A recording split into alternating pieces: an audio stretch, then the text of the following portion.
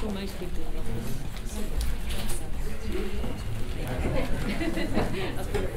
Okay. Yeah, it's just uh, dollar. Sorry. Straight onto folder. So then. Did you did you hit the? No, no, no. That, that was when you were. Oh, sorry, down. sorry about that. That's okay. So we get the first one up. Go back to the folders. Get the up. And then F5. Yeah. Thank you very much. Yep.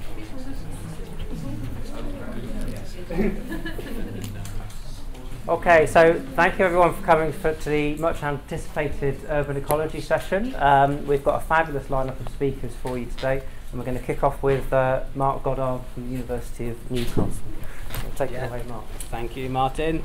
Right, good afternoon, everyone. So um, this afternoon, I've got the pleasure to talk to you about um, an EPSRC uh, interdisciplinary fund, well, EPSRC funded interdisciplinary project um, called Success. It wasn't my acronym, um, and this stands for Sustainable Urban um, Carbon Capture, Engineering Soils for Climate Change.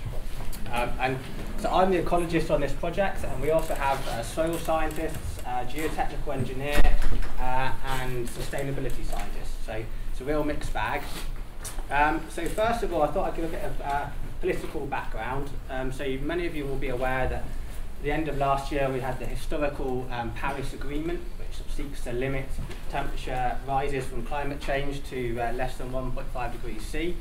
Um, and in addition to calling people to reduce CO2 emissions, um, this agreement also explicitly states the need to remove CO2 from the atmosphere. So um, that is sequester CO2 that we've already put there.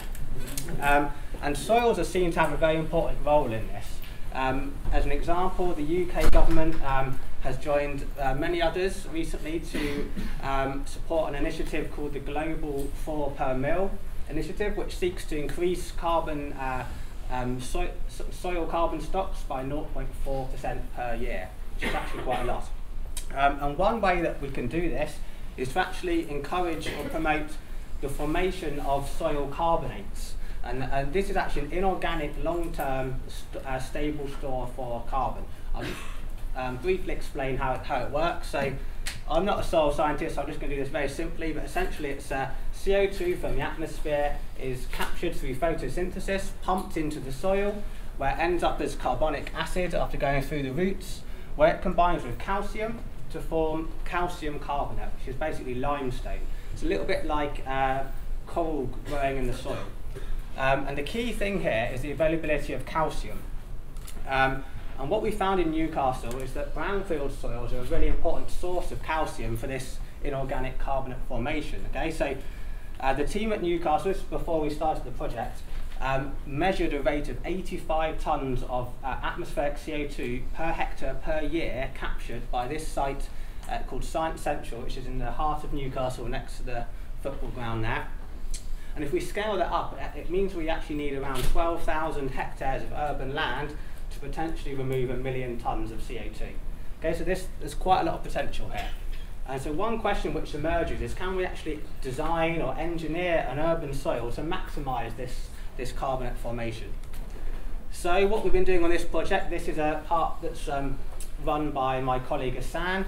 Um, we've got some large scale, these are four by three metre by one metre deep uh, plots. We're looking at how to engineer a soil uh, for carbon capture. So we use two main sources of calcium.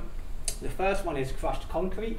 Um, this is analogous to what you find in brownfield soils. So I should have mentioned actually that the calcium in brownfield soils comes from things like concrete, um, cement, lime, mortar, things like that.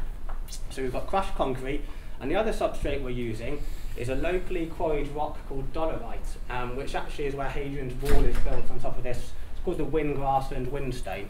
So this is quarried locally, and as a byproduct of that, you get a lot of crushed fine material, um, which is essentially a waste, and we're using it um, in these plots as well. It has a good another source of calcium. And this is looking at basically the best mix of these these different materials uh, to maximise carbon capture. However, of course, carbon capture is only one of a number of important benefits which need to be provided by urban green spaces. They need to be multifunctional. So as you're all aware, there's a, suite, a whole suite of other services which we need to provide, including flood mitigation, maybe urban cooling, recreation, and of course enhancing biodiversity as well. So one question we're asking really is, the, or the first question is, will plants actually grow on these engineered soils? Because these plants are um, you know, really important for the provision of these other services, and of course they're also the crucial intermediary between the atmosphere and the soil.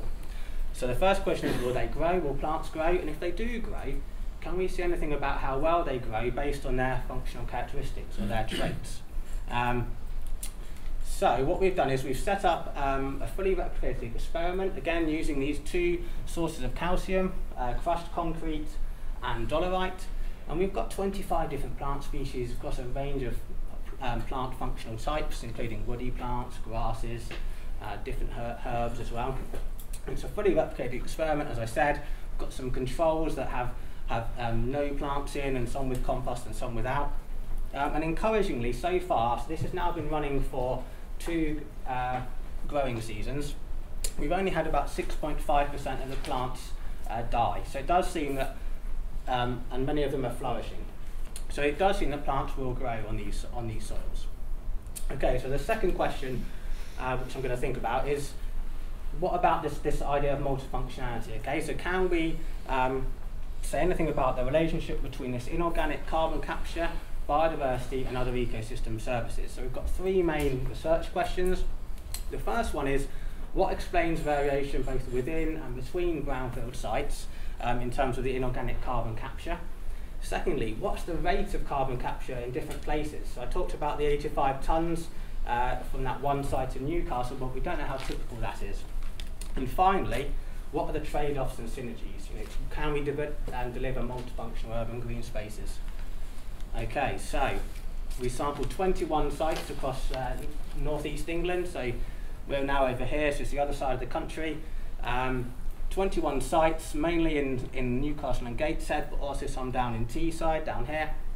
Um, and within each of these sites, um, we placed 10 sampling plots. That gave, us a total of 210 data points. Um, and this just shows the variety of sites that we've encountered. So some of them are actually quite nice, quite uh, diverse, um, wetland and wildflowers and so on.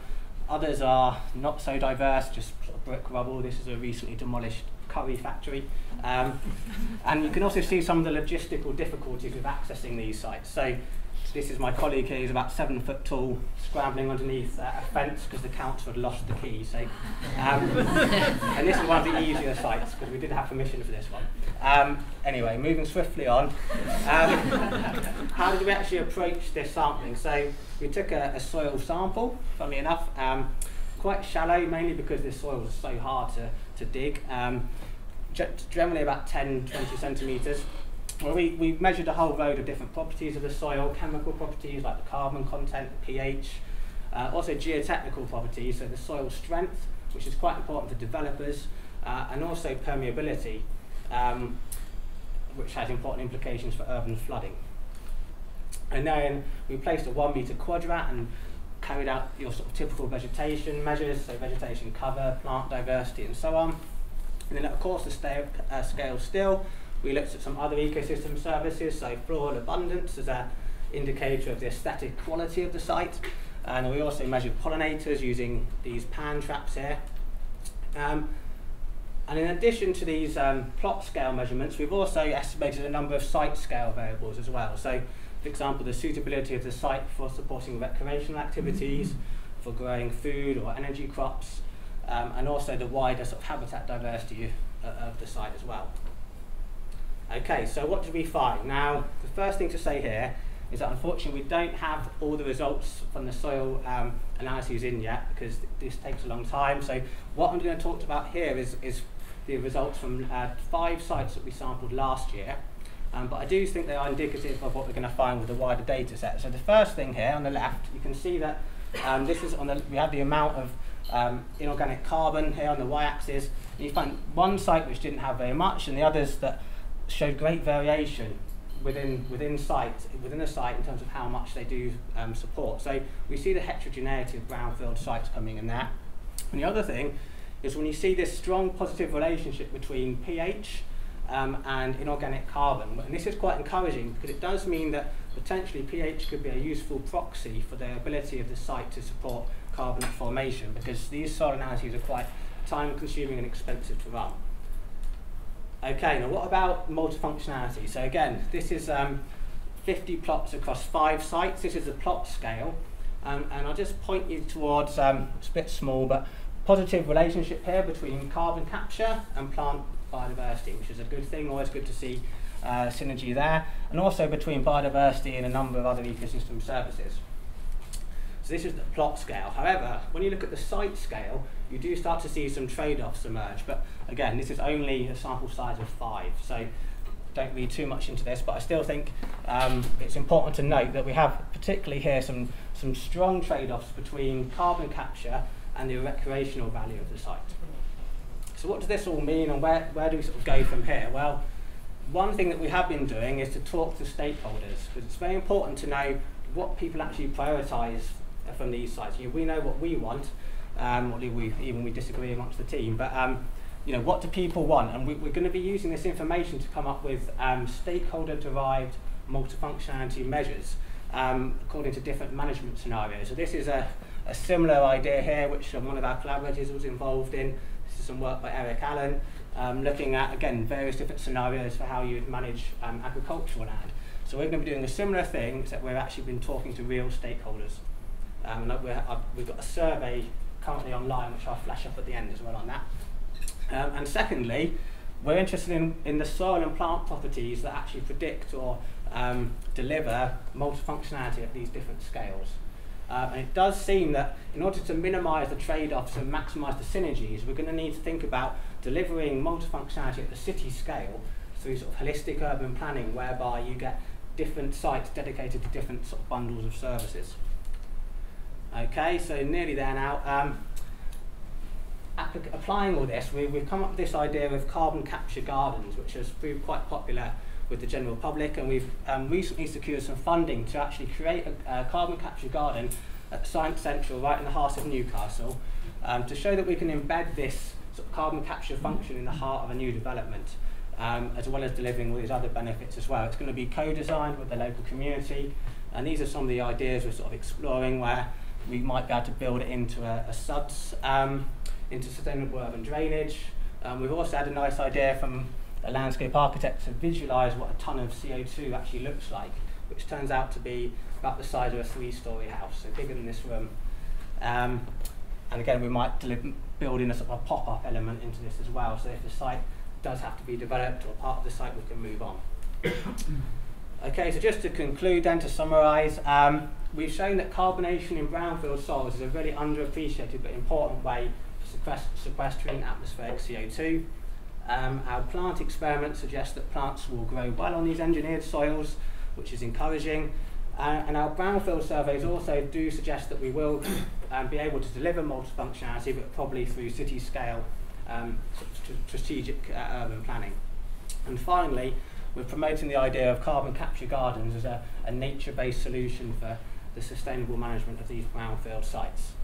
Um, so there's a lot of people to acknowledge, um, especially field assistants and local authorities. Um, but I'm going to leave you with this survey. Please do scroll it down. It just takes a couple of minutes to complete, and we really need your help with that. So thank you very much for coming along. Thanks.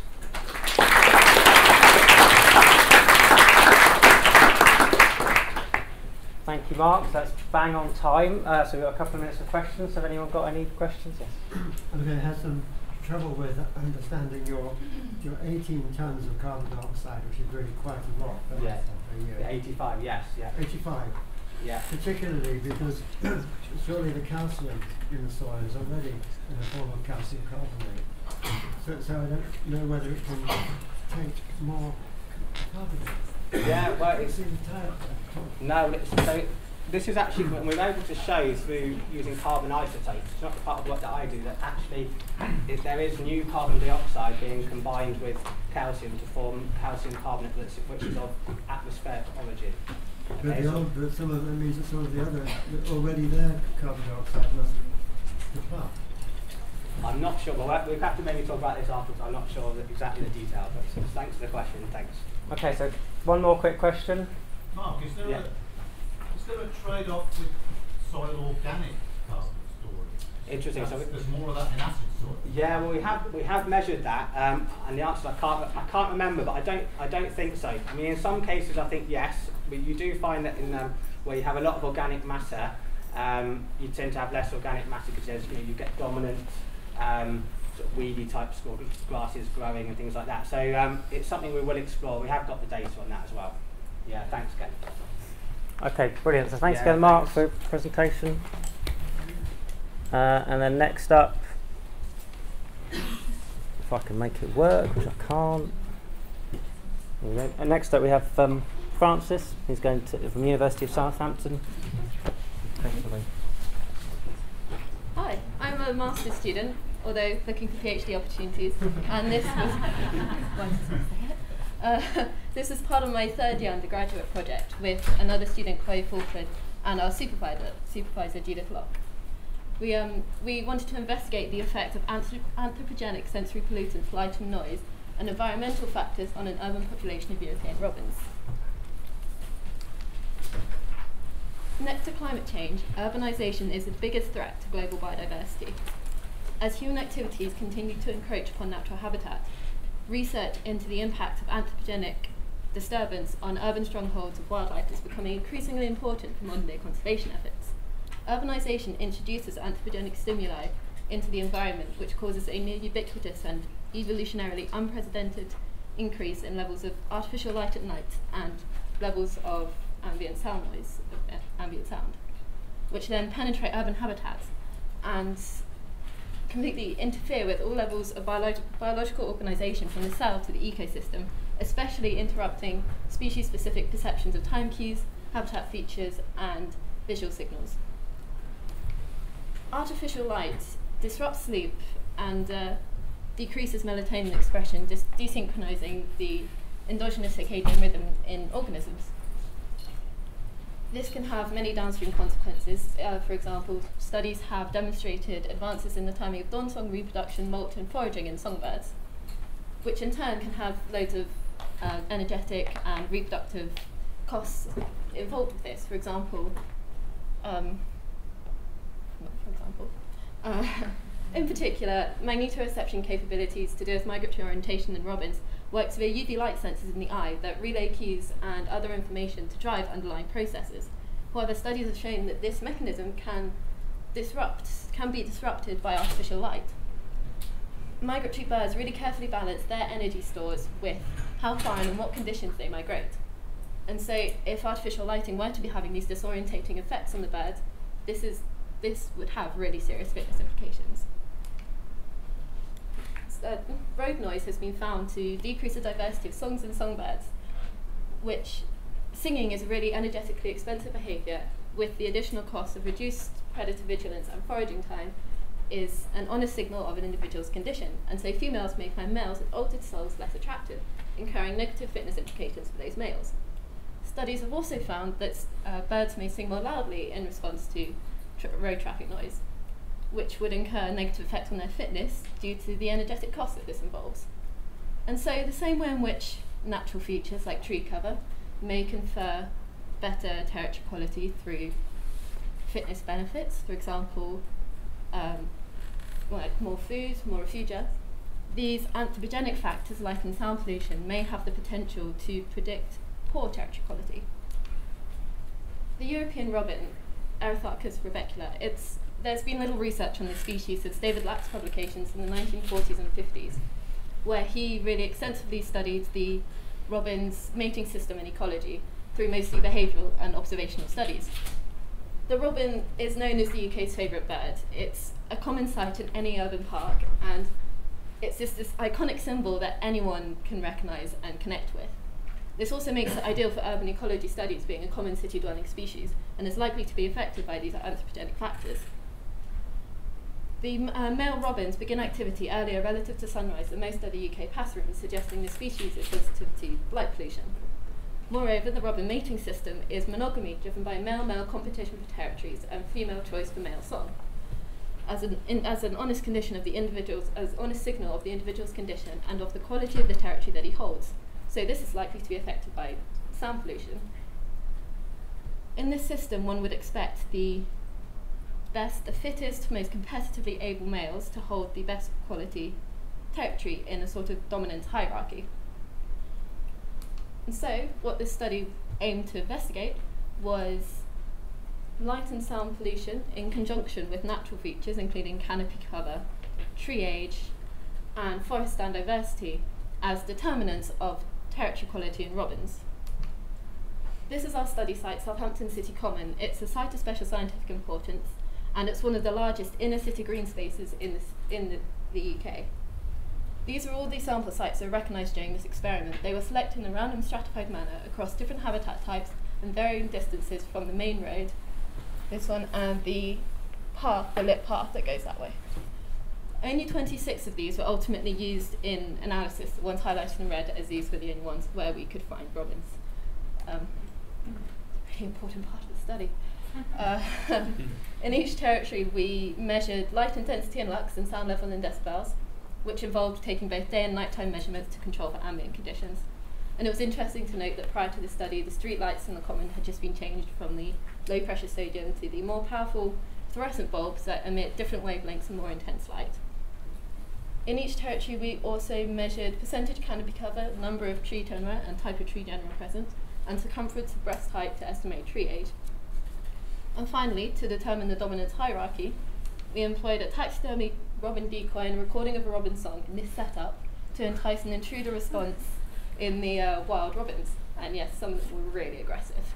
uh, and so we did this in August and September of last year, as this is when the male robins had just returned from migration and completed molting. So this is when they're most active in competing for territories. Focal continuous recording allowed us to record both duration and frequency of um, visual and vocal display and latency to exit after the decoy was removed.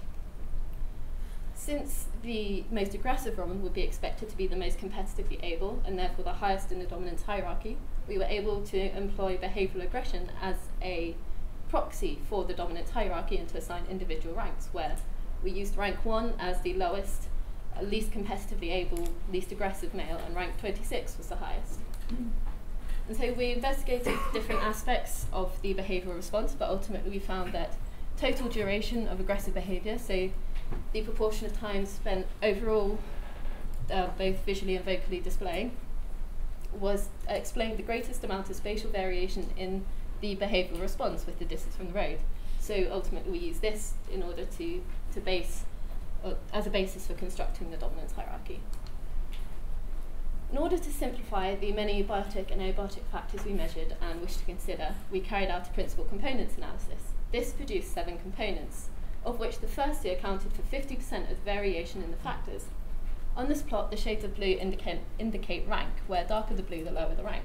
So here we can see that rank seems to decrease as principal component 1 increases and principal, con two, principal component 2 increases, which we explicitly shown in this graph. Both principal components returned as being significant predictors that explained a whopping 49.8% of the variation in the dominance hierarchy. These are the factors and their associated eigenvectors that contributed to each of these components. And what all those results actually tell us was that um, nighttime lighting and daytime noise were really important negative determinants of robin territory quality, with more nighttime lighting and more noise during the day making for worse quality territory. At the same time, we found that daytime lighting and nighttime noise, as the flip side of these factors, are positive determinants. There was little, if any, noise at night recorded, which made for better quality territories. And daytime light was a similar measure to canopy cover, with a correlation between these two factors, and canopy cover was found to be a negative determinant of territory quality, which may be because in a more open habitat, the robins are able to display and sing much more clearly to the other robins. And in a similar manner, having greater tree diversity may also contribute to this, which is also a negative determinant of territory quality, as this may, with having more different genera of trees, this may be greater layering in the forest structure. And finally, we found that tree age was also a positive determinant of robin territory quality, with an older forest stand making for better quality territories. And so visually represented, we can see there is this nice kind of pattern where rank increases as we move away from this road and this path. And so here we show that proximity to artificial light at night and greater daytime road noise results in lower quality robber territories. Since we use the uh, dominance hierarchy and the territory quality as the response in this experiment, we show that not just natural selection, but sexual selection as well may be affected by these factors. We also show that tree age and canopy openness may be positive predictors of robin territory quality. But it's important to remember that this is a very dynamic system, that the boundaries of robin territories are in constant spatial and temporal flux as pair bonds form and individuals choose to migrate or remain resident. And so the factors we show here may just be the factors that are important at the time of this study. But the fact that the anthropogenic factors like noise had an effect on the dominance hierarchy at all indicate that these factors play a role in the robin's mating system, that they're factors the robins respond to and to a degree are adapted to live with. And so what the study really highlights is that these anthropogenic factors may, can be just as important as the environmental ones in determining territory quality in an urban landscape. And so both biotic and abiotic factors need to be considered to fully understand what makes a territory good or bad in an urban habitat, which may be something that's been missing in urban ecology to date. And so further study into how other covariant anthropogenic factors may affect robins or other taxa would broaden our understanding of the impacts of urban living on our wildlife. But what this study really paves the way for is research into exactly what the fitness implications of light and sound pollution may be for, uh, may be for the robins of these, of these factors. And so in the future we may hope to study perhaps survival or number of offspring in robins that live under these conditions. What's more, there may even be transgenerational effects that we could study, for if the parents are stressed, this could translate into knock-on effects on the offspring.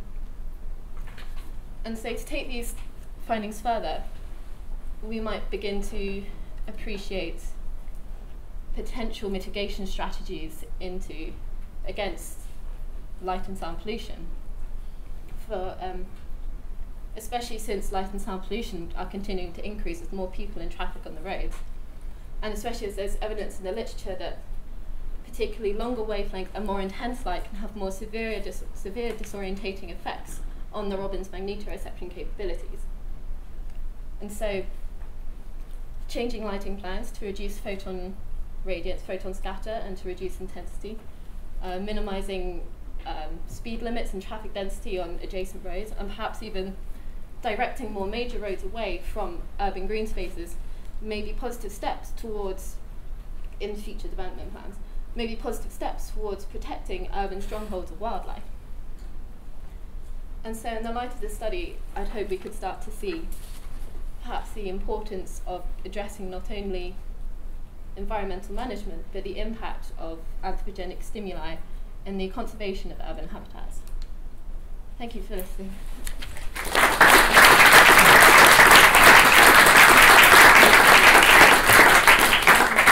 Thank you. It's really fascinating talk again. So, have we got any questions for Francis? We have time for two or three, perhaps. Were noise and light spatially correlated in your study design? No, because there was lighting.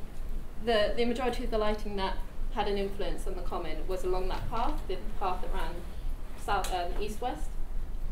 Whereas most of the the noise that affected it came from the road that ran north south. So they were quite kind of not completely independent of each other, but it was pretty pretty decent setup. Any other questions? well, the, the phenomenon of acclimation. So people, humans that live by railway lines, um, after a bit, or in the flight paths of aircraft, after a bit they hardly notice these effects. Robins must be the same.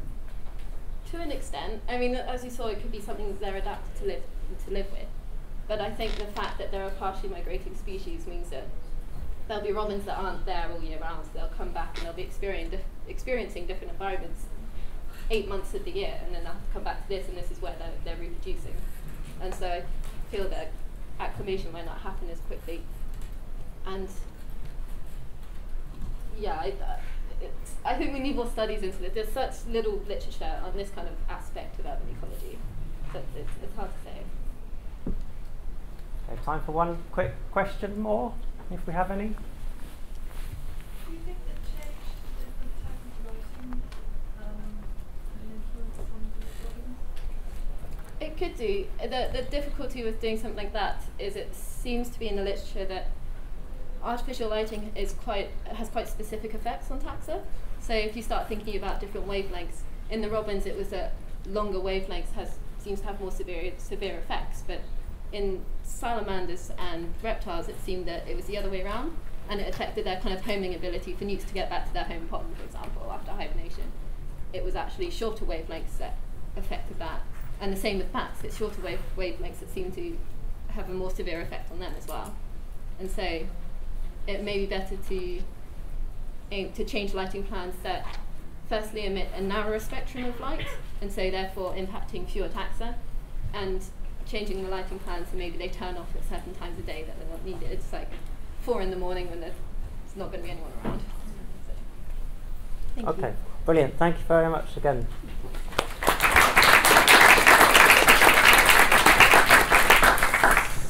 So next we have Bryony, and she's going to talk, tell us about biodiversity and ecosystem services in urban areas. Take it away. Hi, thanks for that. Um, I'm going to talk to you about some work that I've been doing with a whole lot of other people on um, a multi-institutional consortium project called FUSE, which is part of the NERC-funded BESS program, and BESS is about biodiversity and ecosystem service provision in different landscapes. Um, and the FUSE project is focused particularly on urban landscapes, and I've forgotten to get the thing. Um, there we go. So the urban landscapes we all know, is a heavily modified landscape. So some of that is that we've got, um, replaced a lot of green areas with um, built infrastructure, so we've changed surfaces, but we've also changed the 3D structure of the landscape by putting in buildings. And the green areas that we have left are highly fragmented. They're fragmented at large scales, but they're also fragmented at very fine resolutions, and they're modified internally through management and changed vegetation types. Um, and so what we end up with is a very, um, that the landscape has structure at the landscape scale, but um, it's also a very um, complex environment at local scales. And we are interested in our project on how we can BESS characterize this complex landscape with high spatial turnover in, at small scales. Um, okay, so yeah, sorry, the best program is about particularly looking at this um, in multiple landscapes, trying to characterize biodiversity and ecosystem services and in multiple landscapes and um, working out how to do that in urban landscapes is particularly challenging because of these, this complexity. Um, so one way we can look at um, landscape, like one way we can try and characterize the landscape is by modeling it using computer models, and this is an example of a, um, a carbon model um, using the InVEST um, ecosystem service modeling program by my colleague Darren Grafius. Um, and, but what we don't know really is how well this really characterises what's going on on the ground in these diverse environments. Um, and in the case of carbon, perhaps we um, these are better parameterised models, but there are a lot of other ecosystem service models that we can build in the same framework that are less well parameterised that we don't know how well they work. Um, one thing that we like to do as ecologists is to go out and survey, particularly in green spaces. But what we tend to do is survey quite intensively and um, spatially um, sorry, we survey in spatially local areas quite intensively. And we have done this also in our project. I can talk to you about this another time if you like. Um, we're not entirely sure how well this scales up, but one of the important things in an urban landscape is that if we're just focusing particularly on green spaces, is that we're going to miss all of this other, um, all of the other landscape potential habitats and areas um, in the built environment. So we come back to this question of how we do this, and so something that we've um, tried in our project, we were, we were trying to work out how best to characterise these landscapes. Um, and one of the things we talked about is perhaps we could move through the landscape and sample at a lower intensity, um, but sample continuously. And if we do this, are we able to capture the um, local scale variation of the landscape, but also get a signature of what's going on at the landscape? Can we aggregate the, the results of this sort of um, survey um, to get a signature of at it in different urban forms. Um, and we're interested because uh, focuses particularly on biodiversity and ecosystem services. We're interested also in the experience of the um, landscape for pedestrians. And so moving through the landscape like this, um, should, um, will this give us an idea of what, what, what they're experiencing? Um, so all of the work that we've been doing in the FUSE project is in this study area um, in Milton Keynes, Luton and Bedford. These are small towns just north of London. Um, they're picked because they're um, quite close to each other and they're topographically and climatically similar, but um, they have a wide range of urban development histories um, within all of the towns. So we've got everything from medieval areas right through to very, very modern developments. And so they work as a good study system. Um, what we characterised initially in the project across the whole landscape, the whole area was characterised within these 500 by 500 metre areas um, for urban form, and urban form was assessed based on both the built environment and the vegetation features.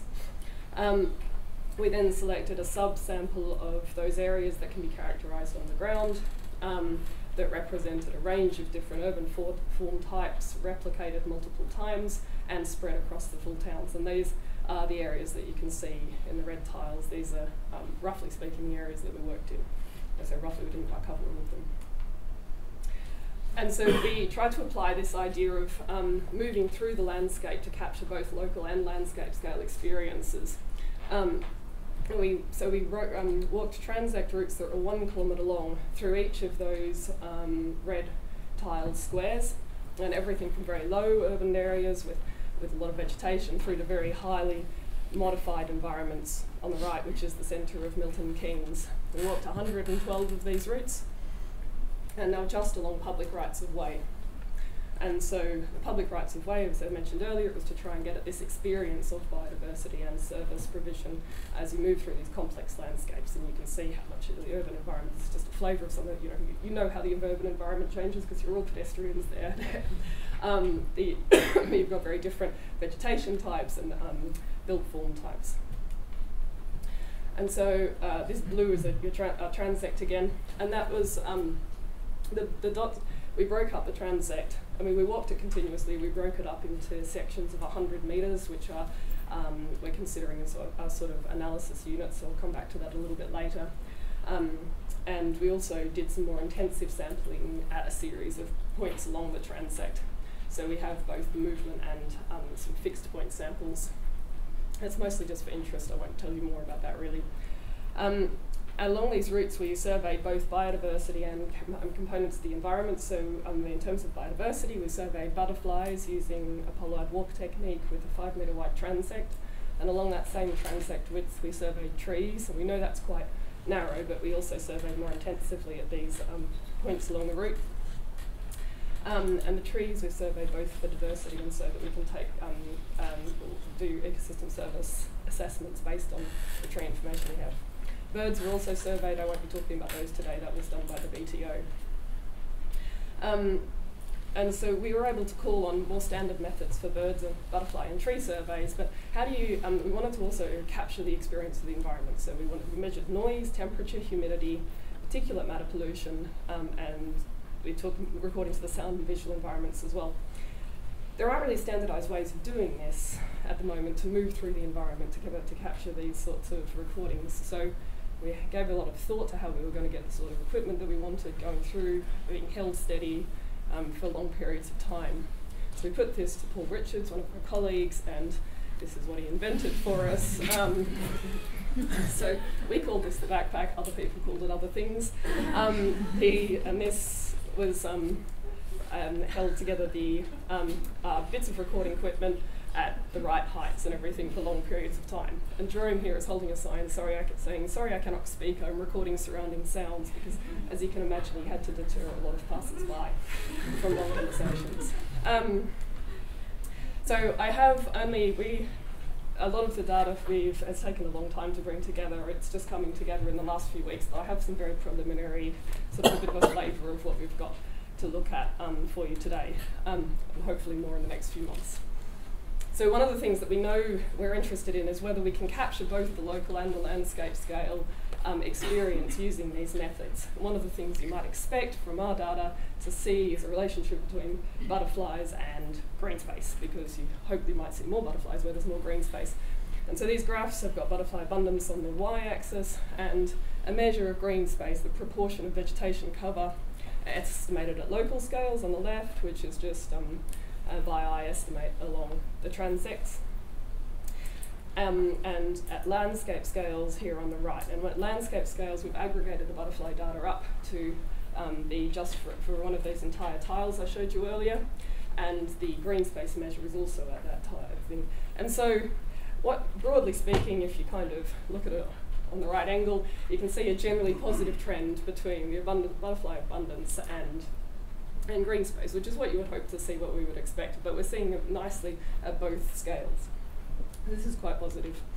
Um, as an example of our um, environmental data, data, which is quite a bit messier, as you can see, we've got an example of noise, and this is um, um, a measure of noise weighted for the human ear. So it's to do with um, it's this is the sort of noise that we will perceive. Um, and again, if you squint, you can kind of see a generally negative relationship. But we, we have a lot of work to do with these data to make sure that we're accounting for a lot of different things.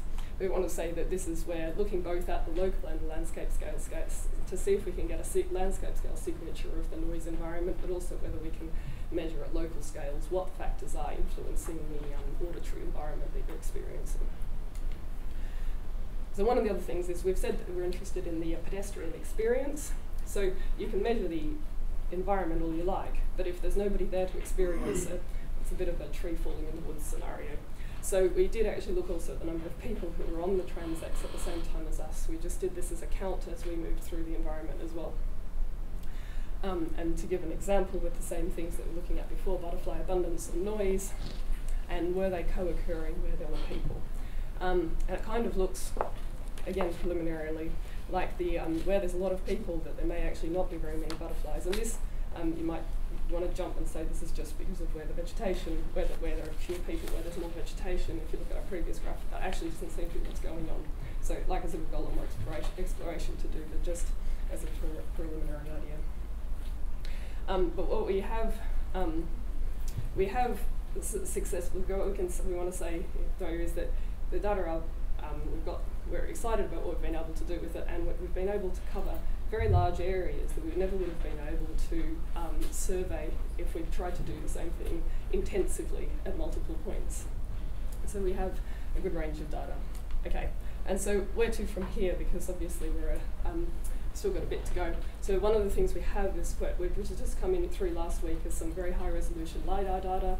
So we're going to be able to look at the vegetation structure in the area around where we've been working in with in some detail and see how that influences the variables we've been looking at, which we're quite excited about, but that literally just came in, came in last week. Um, we're going to be able to look at these, these core questions of the BESS programs interested in how biodiversity and ecosystem services co-vary, but also how our measurements of ecosystem services vary when we take those landscape scale computer models compared to what we can um, measure in the field um, using, for example, the tree survey data. Um, and of course, um, as I've been talking about, we can look at the local rel- landscape, relative importance of local landscape scale features. Um, and that's all from me. Thank you very much. Um, there's a lot of people to acknowledge, including the people I had on the um, first slide, which whose names obviously slipped off this one. And, um, thank you, and thank you very much for listening.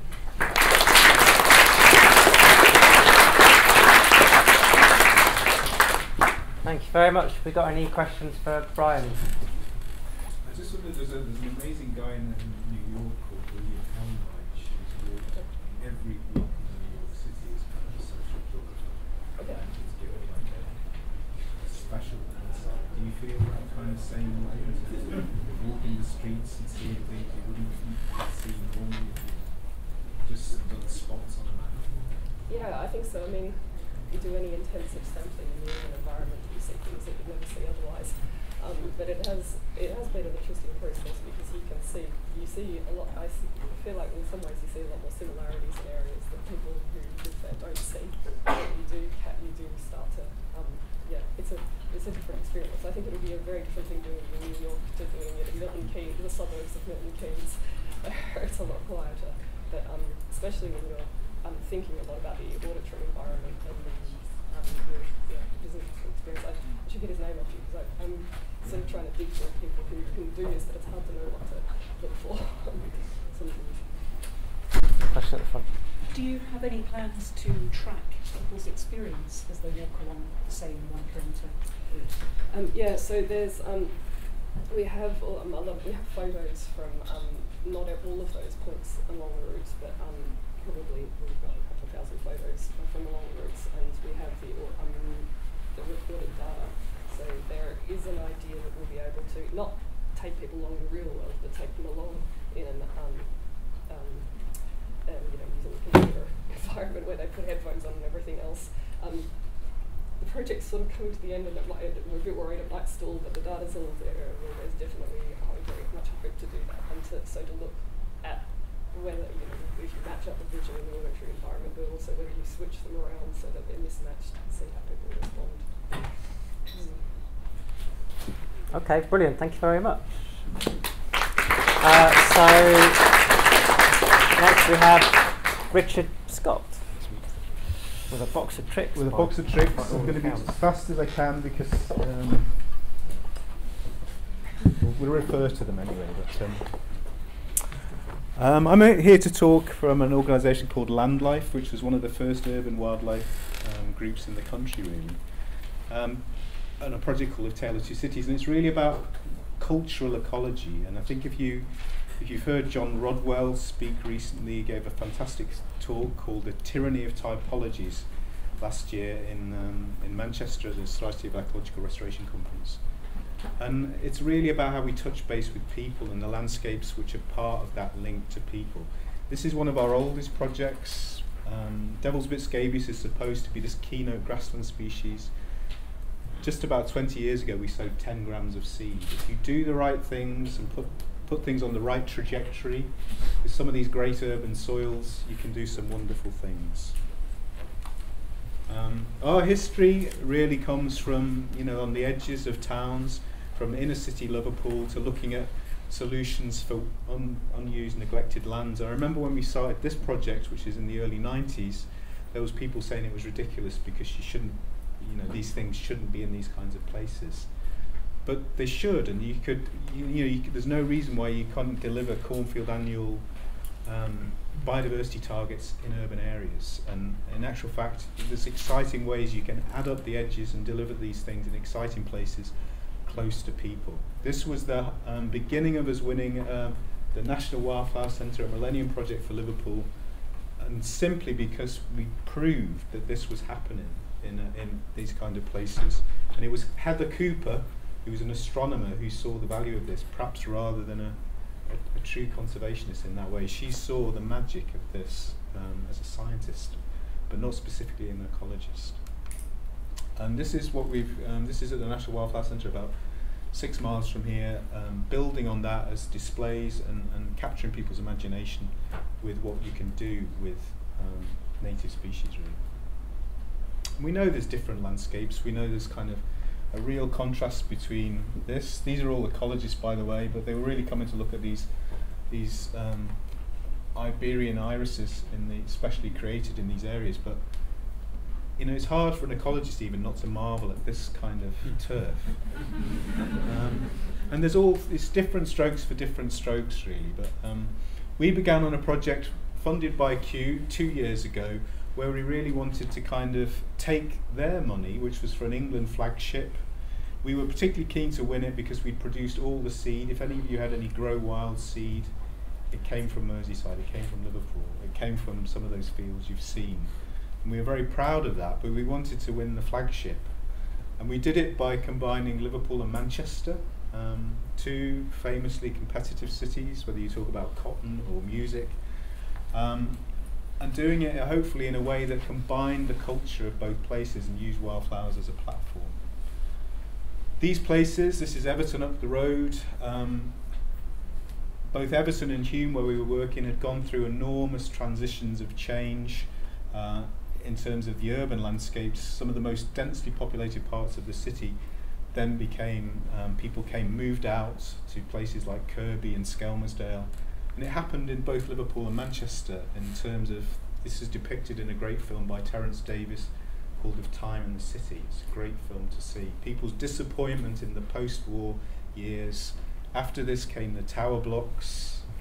Um, the average mortgage on a tower block was about 70 years. Most of them went in about 20 and were probably still paying for an awful lot.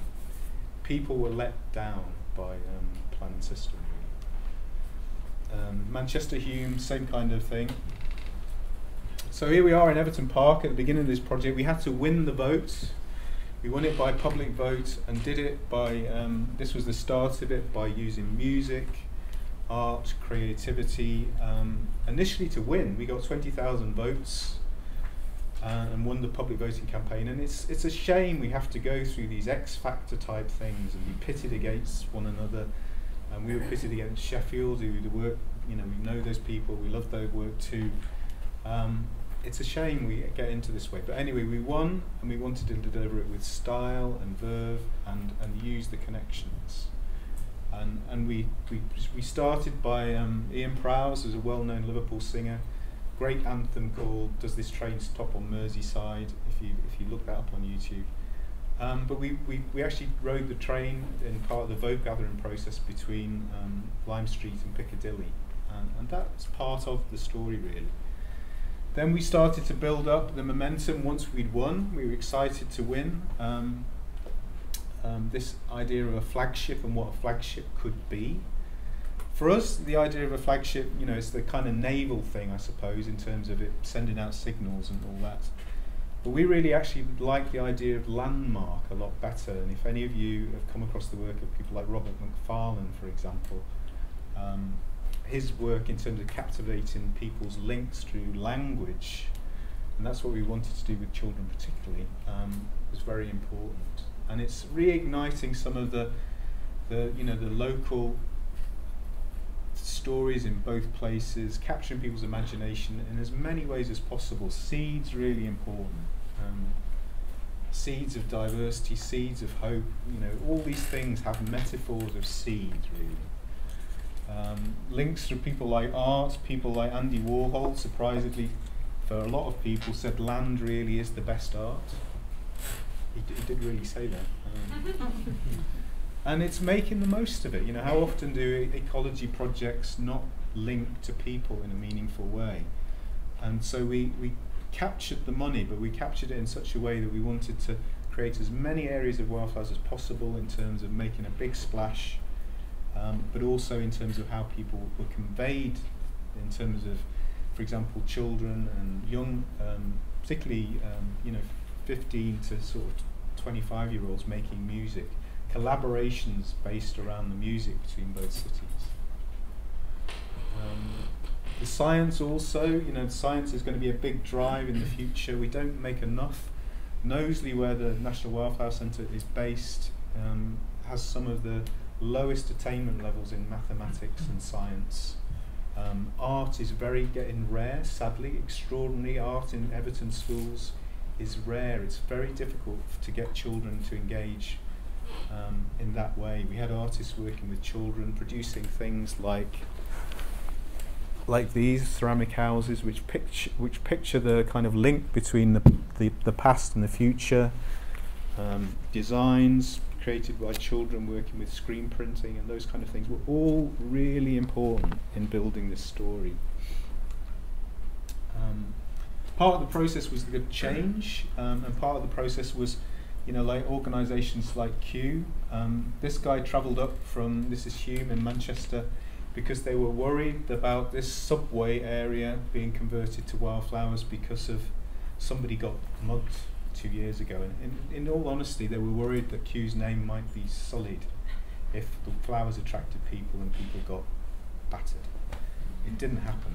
Um, the process of change, again, is, is, is about that, not just involving people, but the excitement of people being shocked and surprised by the change. And the numbers of people we got out was huge. You know, 1,500 children, I think, in the first, um, in the past two years and varied groups, you know, both in Liverpool and Manchester, and also cross-curricular sowing. So we would sow with a group in Liverpool in the morning and take um, as many people as would come to a, a sowing in Manchester, and vice versa. And then it's the change, you know, like the witness of that change. And of course, it is about annuals. You, you can say that these are kind of temporary landscapes, but it's what follows. You know, you start people on that journey which if you remember the first slide in the Devil's Bit Scabious is about creating special things in the longer term. But how do you get people to ride that journey unless you get involved in this kind of um, awakening, really, um, which is is a lot easier than people think. It's it's about you know local authorities, the way um, landscapes are managed, um, but it's about you know this kind of reaction in terms of urban spaces. Again, this is just about three miles up the road, and we did equivalent of 20, um, 20 football pitches between Liverpool and Manchester, so 10 football pitches each. Um, Lemn Sissay, don't know if you know this guy, been on the radio a lot talking about homecoming, became Chancellor of Liverpool University here in Everton, overlooking the city on a celebration day. What did he say as a metaphor? I am a wildflower. It's about resilience, it's about who I am. Um, he was a care leaver, um, in, um, had a rough time as a teenager in Wigan, is, is, is a campaigner for that. And other, other artists and groups um, particularly saw um, this idea of resilience, big theme in ecology um, in terms of people, and the idea of wildflowers and resilience was, was actually quite one the artists really loved to pick up on. It is about, you know, like um, obviously the bigger stories of biodiversity coming on board, and we were getting extraordinary counts of like bees and things in um, both Princess Parkway in Manchester, where we were doing areas, and in Everton in, in and really, this idea of creating landmarks, I think, is important. And, um, you see here the, the, the, houses, one of which is at the front, um, was set out on an old street line. This was one of the streets that was demolished, and we did three street lines and, and installed the houses in the streets. This was an artist called Caroline Tattersall from Salford, but the installation was in, in Liverpool. And one of those houses, we um, because we had links to China, was gifted to a group in China who are also doing wildflower projects in Chengdu. Chengdu is one of the fastest growing cities in the world. Um, so you can influence um, from visitors who've come um, from Kunming, um, from the national seed bank in Kunming. They started to release Chinese wildflower seed for the first time. You know, this idea of seed banks, just locking seed away for what? Catastrophe, you know?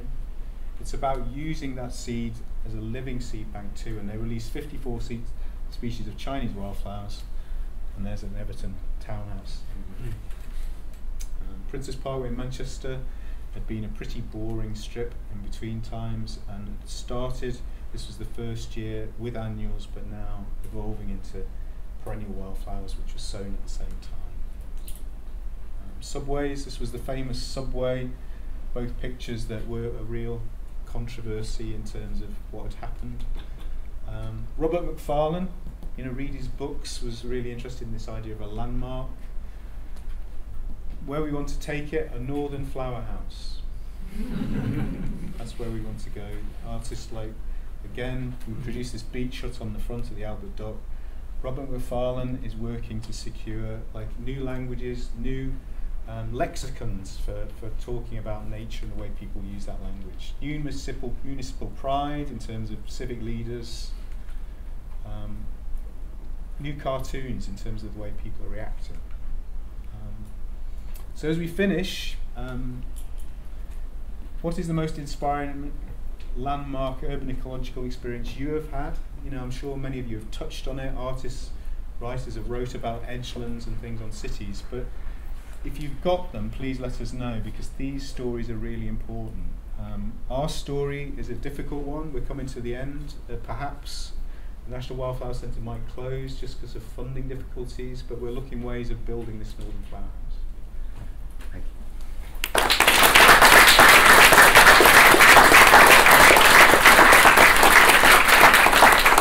Thank you, Richard. Really interesting talk. Have we got any questions? I'm just interested. I guess you worked with a lot of partners to to get that project to work. So just could you, could you The key partners here were like Friends of Everton Park, um, and in Manchester there was a National Trust, um, actually um, Gardener in Residence in Manchester City Centre, who was key, um, but also community groups in Hulme, like Hulme Community Garden. And it was about building those relationships together. Originally, Liverpool and Manchester both were thinking about going for the competition as indi- individual cities. They wouldn't have won. So it was that thing about cooperation, um, the Chinese thing about you know um, if the if the spoon's too long, you ca- you can't feed yourself. You can feed each other, and we won 120,000 pounds deliver this project. So it was about, but it was about partnership and collaboration. Collaboration is really underrated and it's seldom done really well. But um, when you start involving artists, it can be really exciting, I think. And scientists and artists together, brilliant. Um, hi, my question was mainly about um, where you chose to have these wildflowers in the first place. Obviously, these are aimed to attract communities. Is it was it just a case of which partners you could work with, or did you have Um, certain ideas of where you wanted to have these? Visibility. I mean, the thing is, a lot of a lot of times, and it's been true for us in the past, that you know um, areas are put out of people's view. There's this chasm between ecology and people. So it was really about in people's faces. Everton Park is one of the best viewpoints across the whole city, as you can see. Places like Princess Park in Manchester is driven past by 100,000 people every day, and the parks around there. So it is about it's the reaction with people, but showing you can do this thing really well in, in really friendly places. Okay, brilliant. Is um is Dong here? So is our next speaker here? Okay, so um, that gives us an extra 15 minutes to ask some more questions of our speakers that have already come. So um, I don't know whether anyone's got any questions for who, who they, they didn't have a chance to ask, ask that they'd like to ask now. Yeah. I have a quick question to Richard. or it just- No. Sorry, I didn't see you. um, from a practical point of view, a, a good talk, and it's great to see some practitioner a representation here. Um, obviously, it looks beautiful landscape. Was there much preparation given, like the effects by the pollution or um, fertilisation of the utility parks, or could you just go in so? Some of these areas are all very different. I mean, uh, some of these areas we were, it's, it's, it's about good ground preparation and experience. Um, we know from some of the other few flagships um, that they really struggled in the first year just because they hadn't done it before. So it is about experience. We've produced, um, you know, we've produced good practice guides over our 20 year experience, and it is about making the best opportunities, really involving people like you know, the apprentices and the you know, council departments. Because the idea is to create a legacy. You know, the thing is, these projects are not about running away for. So that site you see there is the longer term thing, which is now 20 years old. Yeah. But it's how you engage people on that journey. And so the annuals are really important because people see something in 12 weeks. But it's what you sow with the annuals, it's what you do to minimise all the kind of you know, like rural problems, and having an eye for that really. Um, so part of the story is, is taking all that on board and doing it really well. And do you think some of the people that got involved were inspired to recreate that in their own, were Yeah, we've had a lot of groups coming, for example, from farther afield. The idea is an England flagship, so there's, but there's been people from all over the north of England. Um, yeah, groups from Blackpool who just wanted to copy it in of. Um, and it is how you add up these things together. Um, for us, it is about the danger is when you when you win a project like that, 120,000 pounds sounds a lot. We split it instantly in half, and then did all the music. Um, if you go to the Tele2 City sites, we've got musical tracks. And that did take a lot of energy and effort, but it's it's what people remember. Um, and I think this idea of a cultural ecology, and going back to the John Rodwell thing, you know he's a national vegetation architect in his retirement almost. He's just finished a big pan European in his in his kind of um, more um, what when we say liberating years following his academic career is excited by this cultural story across Europe and it's special everywhere. So the idea of reuniting two cities was just um, I mean we, we met people we had never met before. Um, my family live in Knowsley Oh. and they're devastated by the closure of what? Well we hope it won't. So what's happening? well, what happening is it's it's um, we're not in in uh, we're not actually in debt. We're we're in a situation where it's cash flow, and because of just because we're a small charity and a small group of trustees, um, people get worried because as a charity you're not allowed to trade at any kind of loss. It's just a fact. So we're in a situation where we're very vulnerable. So if those trustees are jittery, you know, it's, it's, it's in fairness to them, they're personally liable. So you have to, we have to kind of work very hard, and hopefully after Christmas, there's, you know, people coming to the table who hopefully can help us through this. It's, you know, um, partners from farther afield, groups, for example, like the Uni Project, um, more locally, perhaps the Richie Law Trust, looking at ways of creatively putting a package together can keep going. And that's what we fingers crossed. But it's a tough time for parks. In Liverpool here, in, in two years' time, we'll probably have a negative, have a zero parks budget. And I don't know if that's true where you live, but Knowsley also will have no money at all to spend on parks. What are we going to do for this? It's ecology in the city, and there's, there's no money, and there's no priority to give funding. Horticultural skills don't exist. There's a We've got a wonderful connection with Nantes and France. Um, Liverpool has two um, supervisors responsible for parks. France, a country with a recession, when you think about this in European terms, what maybe we're losing in terms of those connections. Um, Nantes, a country in recession, has 350 gardens. And they value the culture and art. And that city, which was very, it's actually the same size population as Liverpool, is thriving because of its culture, its art, and its green space. So go to Nantes if you get a chance. So, any other questions for any of our speakers? Sorry, Richard, I have one more question. I was interested by the Princess Parkway. Yeah. Who manages that then? Manchester City Council. Okay, Yeah. so that, that's, Yeah. I would say that's quite, that's quite a big step. It's, to be it's a big step. managed in that It was a big step for them, and it's something that we've wanted to do for ages. But they have actually got a very good environmental strategy team. Um, and for us, the important thing is to secure that legacy so it doesn't, it doesn't disappear. You know, so they're producing the management plans and sheets for their work. Can I just ask Richard another question? Um, You're getting a double slot, Richard. I'm going to be talking about perennial meadows um, and um, work we've done as part of the BESS project in a, in a little bit. Um, how do you manage in, in with perennial meadows? How do you manage public expectation about appearance of meadows at the end of the season and in the winter when either you've left a significant biomass on the surface for all the best biodiversity reasons overwintering, or you've cut it off and it's still rather brown and I think you have to, you- you have to, uh, effectively a lot of these places have to look fairly neat Yeah, in the winter time. And I always remember when I first got interested in meadows, which is quite a long time ago, um, trying to find a meadow in July and getting there and it would be too late in the winter and that was it.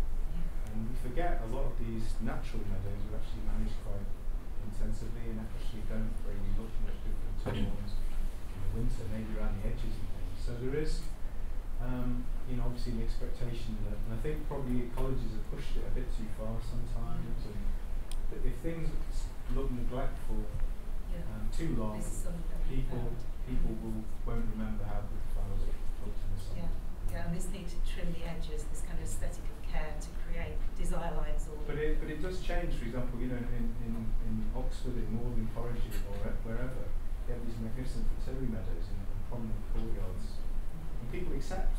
You know, it's Yeah. like in Germany and um, Berlin and. It's, it's it's a different culture. So I think it's over time. You know, it, it can change. It's, it's about education and um, people celebrating the flowers at their best, so they don't forget them, and also thinking about things to do in the winter, which remind people. Projections in the city. Um, we're going to have projections in Liverpool actually close to Chinatown, where some of these images will be displayed in the winter. Any more questions? Again, sorry, Richard, it's for you. um, which is really interesting because you attracted so much interest with a fantastic, fantastic talk. Um, I was really interested in your use of the word ecological awakenings. And I wondered, have you tracked people's relationship with nature as you've sparked the interest? Not as much as we should. Um, I mean, we've tried. Um, we've tried at different times actually. We've, we- we had a thing which we called um, eureka moments where we tried to get whoever, you know, to write down what it was that inspired them in nature. So, you know, please people if they've got anything. But it, it's, it's usually very personal, and we've tried it actually at very academic conferences. And often people are very shy to say what it was that got kicked them off in terms of that connection. Um, but that's why we were so. Robert Macfarlane actually was wonderfully generous. He came and gave a talk at the Tate Gallery in Liverpool, and um, but his, his reaction with the children, particularly, we did a workshop with children in terms of them thinking of new, maybe Scouse or maybe Mancunian words for um, flowers or the process of cultivation, and they, they were coming up with um, you know like all kinds of unusual words like hotspot for dandelion, which you know, and, and purgling and, and different things which were about the care and sowing seed or and, and why not? You know, these things, it's this personality with the landscape which I think is really important. And we were getting stories from people who'd lived there a long time. The, the parish priest of the church at the top of the hill in Everton had lived there through all the worst of the kind of demolition um, and had retired and said that he felt that that happening that summer kind of was a reflection of his ministry or what he was trying to achieve with his ministry. And think, so you get these little snippets, but we don't make them. and it's all out there. So these kind of cultural stories, um, I think this kind of new, I, this idea of what you can make from these connections and people, it just becomes big. You know, I think we, we it's really untapped. I think. I love the walking. I think you know this idea of walking and the pedestrian view in terms of how that links to ecology is, is great. How we observe the world. You know, I think there's so many exciting things that we can come from. In, in China, the um, current five-year plan has in it the aspiration that China will, will become an eco-civilization. So this idea of an eco-civilization isn't really known in the West. We don't speak of an eco-civilization or an ecological civilization. Ironically, this term comes out of China, who we regard as um, major polluters. Now, next year, in August, there is the, the INTECOL Congress. So, INTECOL is the association of all the ecological societies of the world. And if you guys would like to put together a symposium, rather like we're having now, there's still a chance to just still do that. Okay. It'd be a good thing to do. You would get funding from the BES if you're a, if you're a member of the BES and if you're if you're reasonably young. Yeah. you would get funding. Professor Bradshaw, who was past president of the Ecological Society, British Ecological Society, I remember him telling me that when he went to, um, because he's interested in obviously ecological restoration, I remember him telling me when he went to China for the first time, which I think was a British Ecological Expedition 1986 or something, um, he realised the Forbidden Palace, the garden created in the Forbidden Palace, was created on rubble and waste. So in a way, it was, it was could have been the first derelict land scheme when the had been set And I think China is probably the place where a lot of these things will happen first. Especially because uh, engineering new new cities, uh, and so that you have a you have a blank canvas. Okay. Any other questions before we have? We still have time for one or two more before we get back on track. So I've got I've got one for you as well. Then. So do you think you, you touched on in your talk that there are lots of other ways that Liverpool and Manchester could join in terms of their shared cultural and history backgrounds, so music, football, um, just being in the northwest and their shared industrial heritage. So is there something in addition to that that ecology and wildflowers brings to ideas about how you might create communities and sense of identity? I think so. It's like uh, like this place in Huyton. This is in Huyton. The people, the, kids around there, when we walked through once, we're calling it Liverpool Latin, Liverpool Lavender. And it's it's it's it's like the platform really. I mean, in the face of it, it might seem a bit esoteric, but um, it does engage people in the kind of conversation they wouldn't have. We've we, you know we've quite a lot of musicians, um, and you just get into different conversations, and so there's a, a, a remarkable couple of artists called the Singh Twins. I don't know if anybody's ever heard of them. They're from the Wirral. Simon Schama, when he did his Faces of Britain series, included them. They did they do these remarkable, um, fine um, miniature engineering drawings and then make these big canvases. And they did a great artwork about the capital of culture, Liverpool. But they're doing there's there's a possibility because of the links between fabric and um, between both cities that there's going to be this exhibition based around um, art and fabric and there's this weaving of that and flowers and design. And if you look at any design, you know, how often it's, it's all these natural themes, you know, the golden thread, and the Indian sort of, all the Fibonacci stuff, it all weaves into one in terms of the art and stuff. And it just becomes very chaotic, but fabulously complicated. Brilliant. Let's give Richard another round of applause for our 15 minutes. So, Thanks very back, much to Hazel Norman, actually. She gave us a free place, so thank you very much. Brilliant.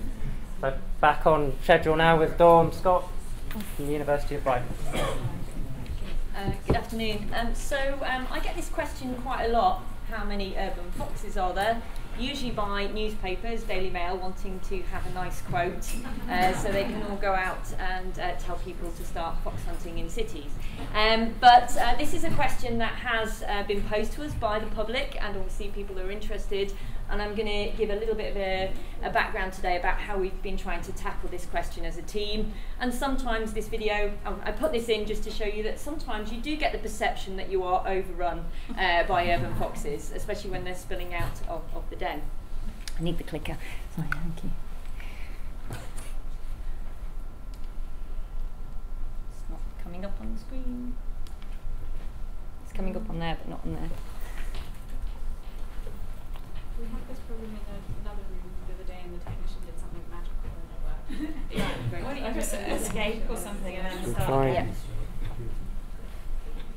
I'll tell you what, if I put it, click it onto the second slide. Do you want to go and get the No, it's fine. Uh, what I'll do is I'll just click it onto the second slide. Might be no. Try F5. It should. It's maybe Somebody want to? Press escape, get out of the PowerPoint, and then restart it? So get out of this map. yeah. but, This is a um, really good start, isn't it? we could have done this in the, In the 15 minutes. and just watch the fox. watch the foxes. Just spend the whole time, 15 think- minutes the- watching foxes. Where's the cursor gone? Like, so the cursor's stuck. So we're officially stuck. The whole thing's crashed because I put a video. Oh, there we go. Hey! Right, it's Magic. not on the right slide anymore, but hey. Um, Um, can we go?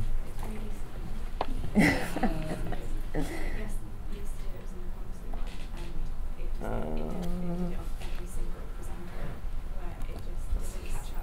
right, let's try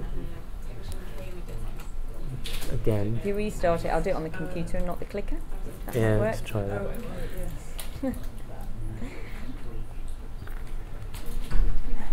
Right, let's try again. Hey! Yay. So, um, so yes, so uh, we're going to try and tackle the um, question of how many foxes are there and are we overrun by foxes? Um, so, obviously, um, those of you in the room are um, uh, uh, some urban ecologists, and we know that urbanisation is one of the greatest uh, forms of major land use change and obviously creates challenges for wildlife and overall uh, a decline in biodiversity. But we also know that some species um, that are flexible behaviourally can exploit these urban areas and in some cases due to increase in resources and lack of competition they can do actually really well uh, and they can end up in higher numbers than in rural areas. And one of the key examples uh, that seems to be taken over the globe in urban areas is the red fox. And because of its opportunistic, flexible uh, behaviour and because of its wide geographic um, spread, including areas where it's been introduced, uh, it has been colonising urban areas across the globe. I have to walk across the screen now, so I shall stay this side. Um, so a little bit of background about urban um, foxes in this country, uh, and I'm going to be focusing on suburban areas, which is their preferred habitat. Uh, but we do have some background about how they've changed over time, and this might lead to the perceptions of, of higher densities and change. So, foxes have been found uh, in England uh, since the 1930s, since the end of um, the war, and it was noted that they were found in cities. I've not included Scotland in this map. We don't have um, good records for Scotland, but we do know they've been in Glasgow from about around the same time. In 1980s, there was another survey, a national distribution in England, and they found uh, this is by um, from Baker and Harris. Um, they found that they it wasn't uniform across the country. There seemed to be a latitudinal, longitudinal difference in urban foxes. So in Bristol, London, in the south, uh, there was quite a lot of urban foxes uh, noted to be present. Uh, but in the north, such as some of the cities uh, we've been hearing about in the last talk, there wasn't as many foxes, or there wasn't foxes present. Uh, in uh, 2001, there was another sur- survey um, done uh, by Wilkinson and Smith, and they sent questionnaires to councils asking if there had been changes. And yes, it seemed like foxes had changed uh, and were found in more cities, but there wasn't a comprehensive distribution map. So what uh, I was involved with a television program in 2012 called Foxes Wild in the City, which was Channel 4 and Windfall Films. And as part of this um, show, there was three one-hour live shows and discussions and all sorts of different stuff about urban foxes. Uh, as a scientific advisor, we created a platform that allowed people to submit sightings, so they could go online and they could go do lots of different things, follow foxes and uh, answer questionnaires. But one of the things they could do is they could actually submit if they'd seen a fox uh, in the preceding three months.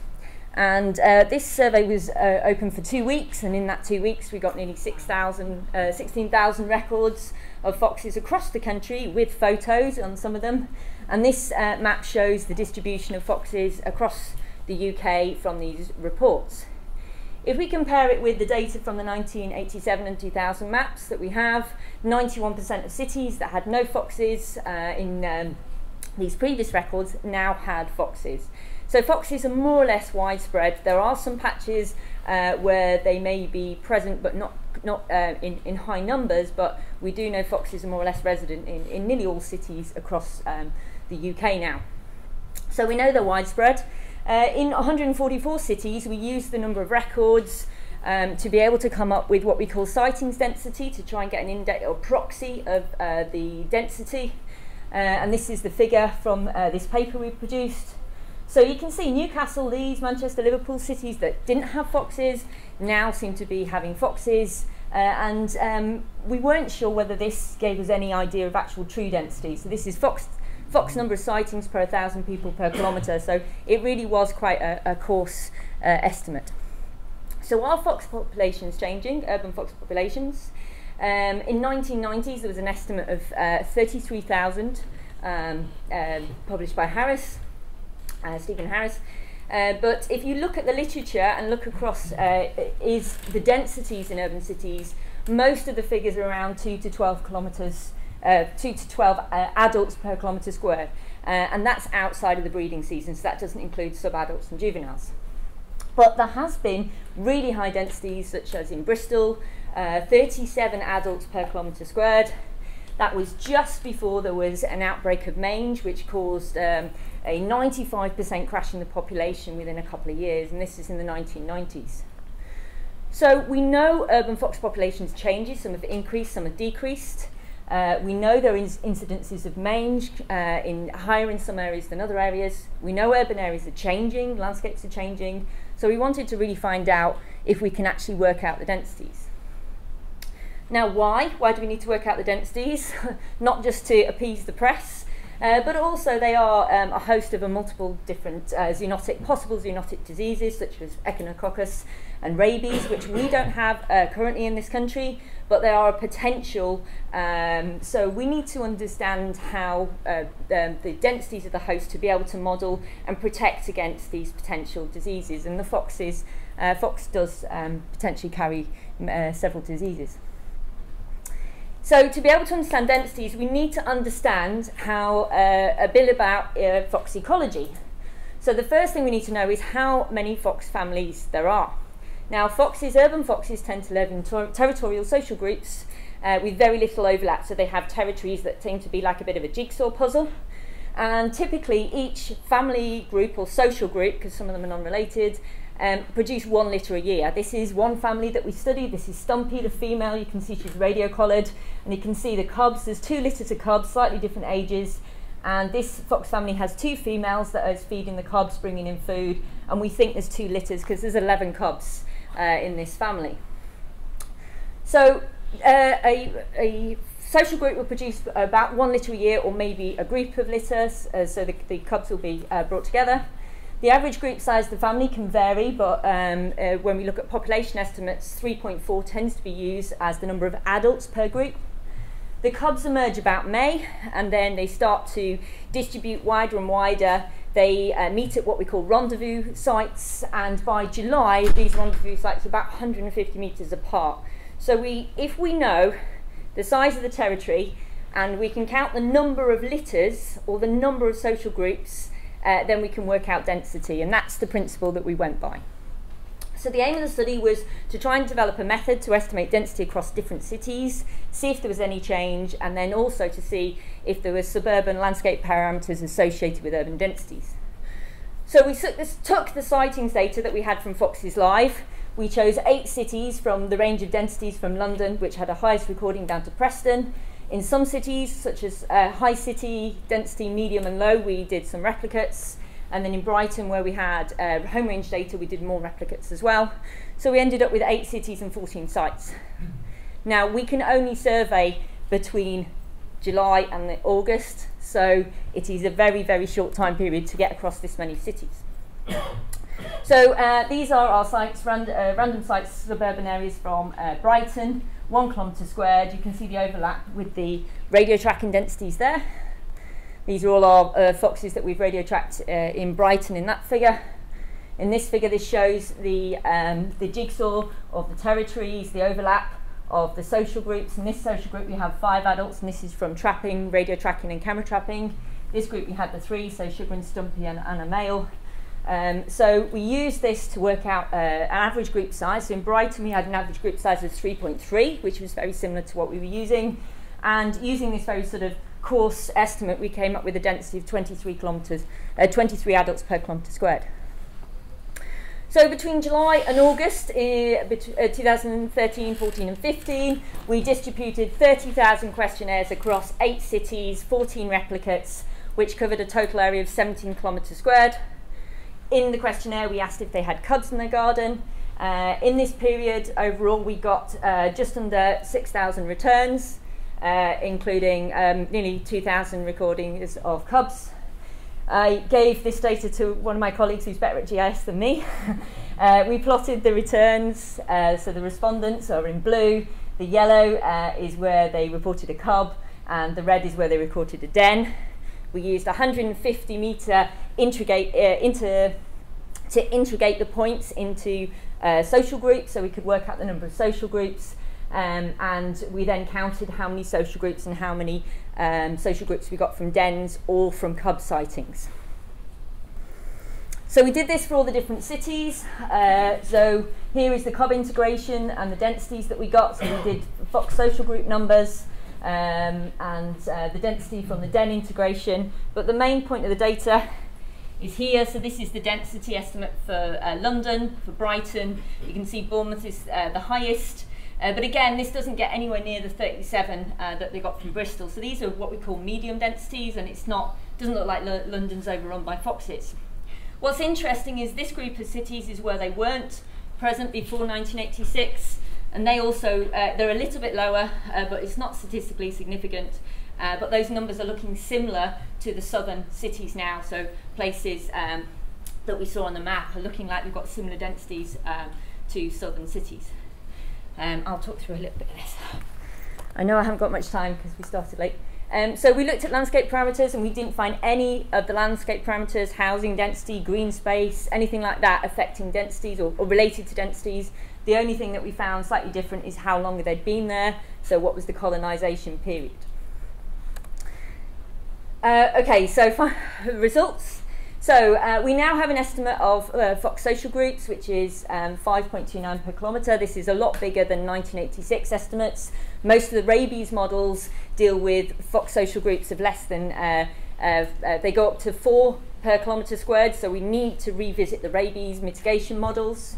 Average fox density is now higher than what we previously had estimates of, uh, and it's very similar between cities and there's no there's less significant difference between the north and south.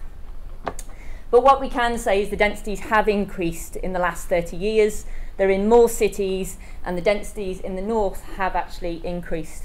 Densities in the south don't ha um, have not increased and they are not at high levels.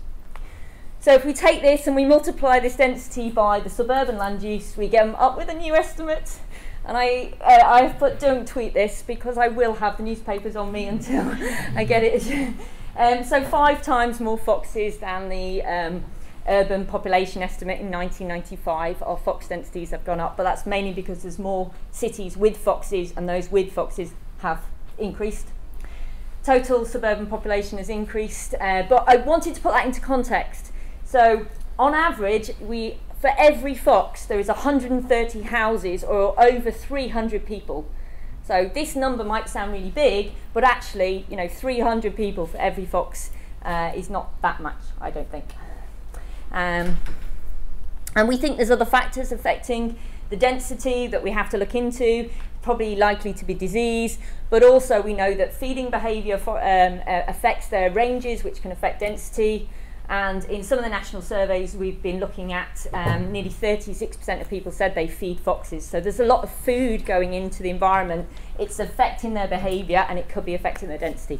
So, sorry, I've really rushed through that. Um, so thank you to everyone who helped collect the data and any questions.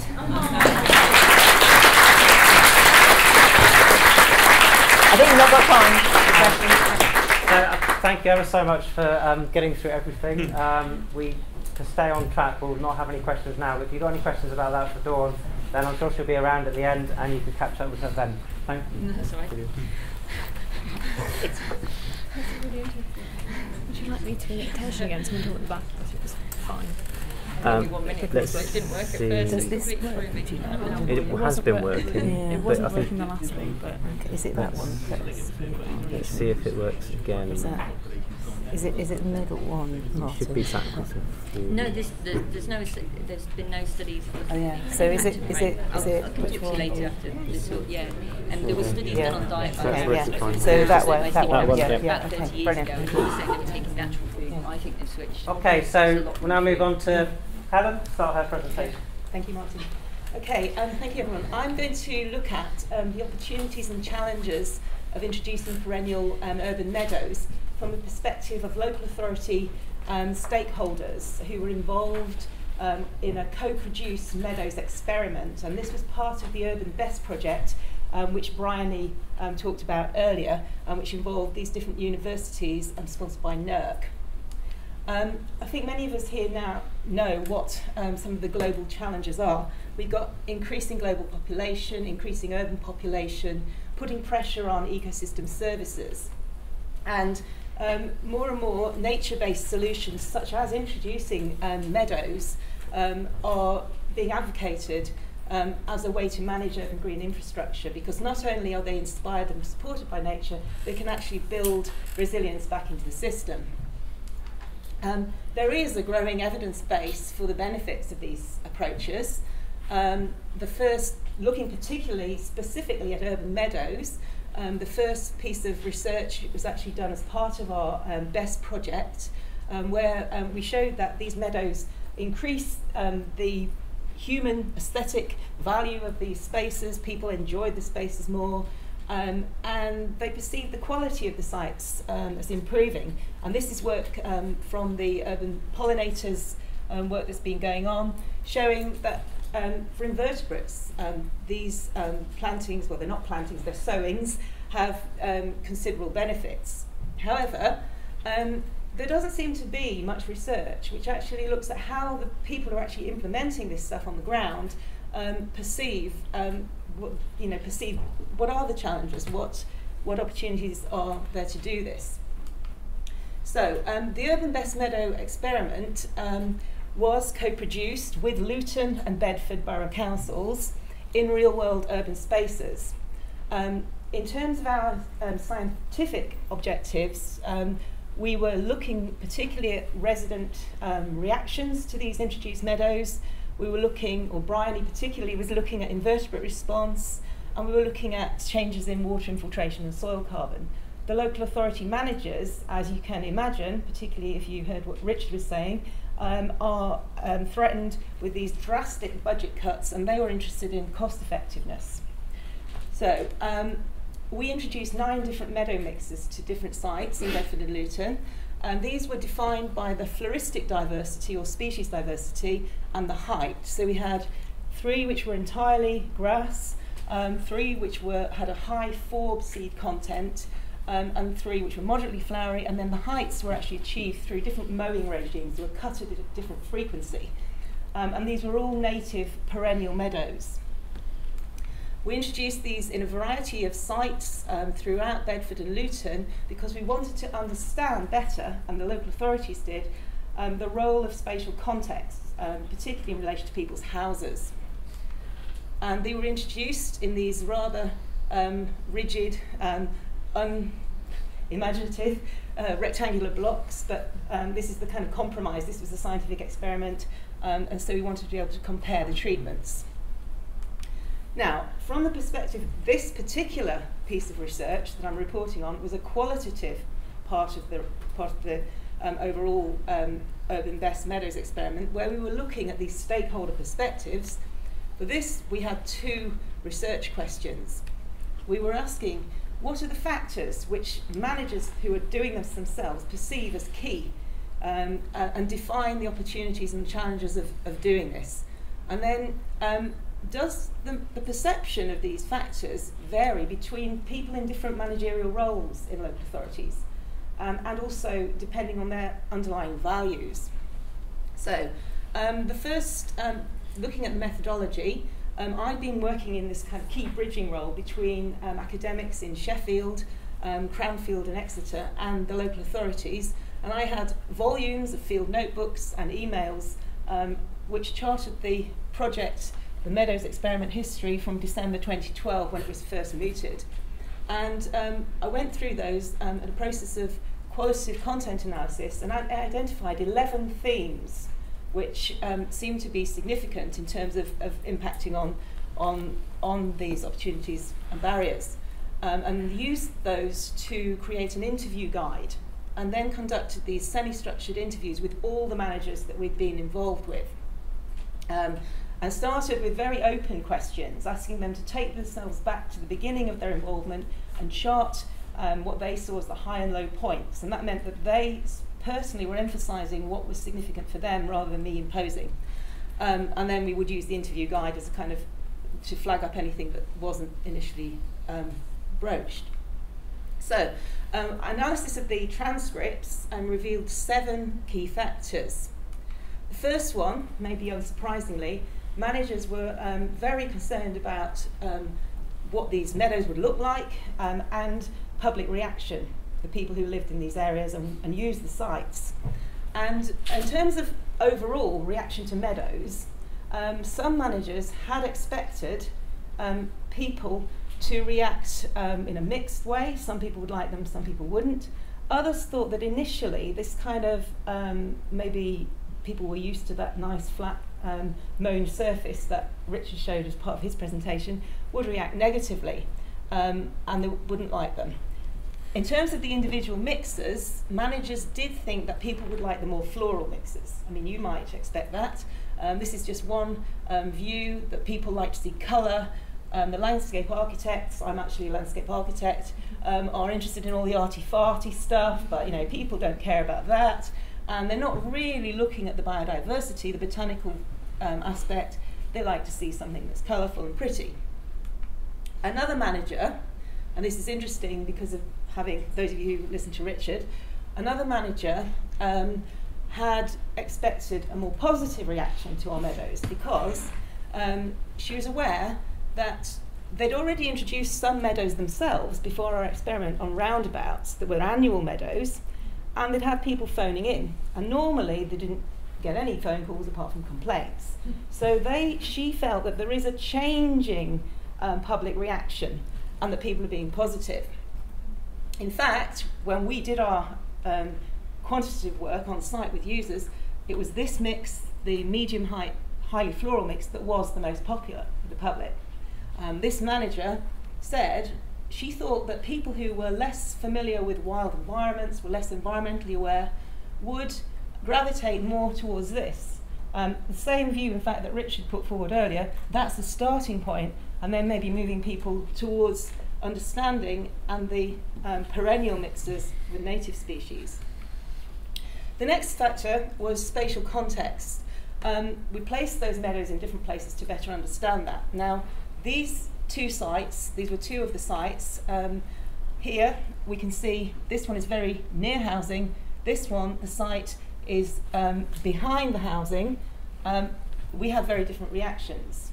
Um, it wasn't because the, maybe the general reaction was reasonably positive, but you have one or two vocal individuals who don't like meadows, and that can trigger a negative reaction. So stakeholder managers were still really of the view that we can't put them that near the housing. Next point, um, the next factor was the economic sustainability. Managers wanted to save costs. They were aware that cutting meadows less frequently during the season, because they were uh, compared to amenity mown grass, was saving them money. But they did have the perception that getting rid of that large biomass at the end of the year, when you had to do a hay cut, was very expensive. And they didn't see, as yet, um, a solution to that. So, you know, it's still going to cost them a lot of money. Um, local politics was a very important factor. The individuals who were vocally negative about that put pressure on local councillors, local elections were coming up, so they put pressure on the Parks Department. And we actually had to take that site out of our project. and we had to grass it over because the objections were so vocal. You see there is a very narrow area between housing. The next thing, communication was seen to be highly important. Within the council, breakdowns in communication can create problems in terms of the maintenance. Um, there was a need to communicate to the public, we found what was going on on these sites, and we installed this signage on the sites which explained what was going on in the winter, you know, when they looked brown, explaining they weren't um, necessarily supposed to look pretty all year. Um, man many managers um, were also aware of the importance of increasing biodiversity in urban areas. They were aware of the diminishing biodiversity and the fact that these meadows could contribute. The final factor was the physical um, factor, the, the effect of the soil, the climate, which interestingly came out as less important than any of the others in terms of the manager perceptions. Then, um, looking at relative importance of the factors um, and um, between individual managers, you can see here that those first three aesthetics, spatial context, and the economics were seen by all the eight managers as being highly important factors um, impacting on future feasibility of future management. However, um, you can see then things begin to change because the strategic managers, which with more links externally, are aware more of the politics, whereas people who are involved in operations, hardly surprisingly, are more aware of physical things. We also found um, uh, that the ecological managers had very strong managers who were, um, had some background in uh, wildlife um, and biodiversity, had strong biocentric views um, and values. And they were also aware that their values were very different to members of the public. Um, and these people um, really did support future meadow introduction, and they were very engaged in terms of suggesting ways in which we might, for example, um, introduce anaerobic digesters to deal with that problem of the large biomass um, of the meadow um, cuttings. Um, so, in conclusion, we have these three dominant factors the aesthetics and public reaction, spatial context, and the economics. Um, the manager role and their values did affect the emphasis they placed on the different factors. But interestingly, we were, the managers were aware of these changing public value orientations and acceptance of a messier urban aesthetic, not all trimmed and tidy all the time in every place. And that yes, meadows are perceived as a possible management alternative to this mown grass, as long as you do think about where you put them a little bit, well, not a little bit, probably a lot, and also consult with local people and politicians. So we also worked with our partners in Luton and Bedford to write this um, policy and practice note, which is available um, downstairs at the BESS stand, um, and it's also available. Um, just Google uh, "Living with Environmental Change" um, policy and practice note, and it it also addresses some of the issues like what is a meadow, because perceptions of meadows have changed. People have seen more annual meadows, bright non-native species, and that's what they think is a meadow. So if they see something which is perennial and less colourful, they might not accept it, um, the, or, or they might there might be a different, it might be the opposite depending on previous life experience. So clearly, I'd like to thank everyone involved in the Urban BESS project at um, Exeter, Cranfield, and particularly Sheffield that headed this up, um, and particularly the, the stakeholder partners who were interviewed. Um, and yes, this was part of the, the larger BESS project. So thank you very much.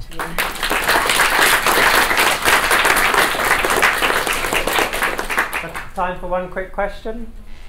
This is very, I'm very, I've got vested interest because I live in Luton. Oh, really?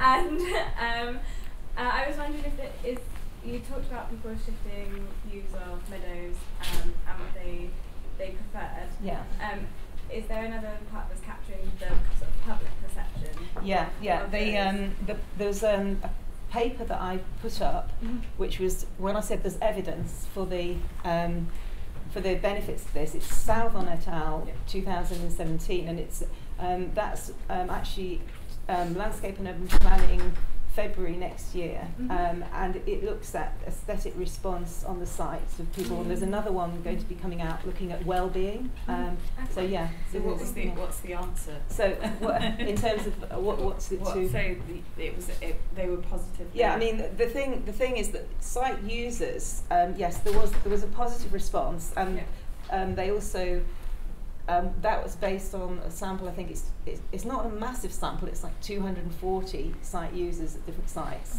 um, and the actual perception of the quality of site improved. I think the, the issue- one of the issues here, um, which I th- really think is important that we look at, is that there's a difference between the site users and the residents that live immediately there on the site. Um, because the thing is, if you do get this one or two uh, in one of those streets, there was one woman who was just um, ecstatic about the meadows, and she's saying, "I can't wait to see frost on it in the winter."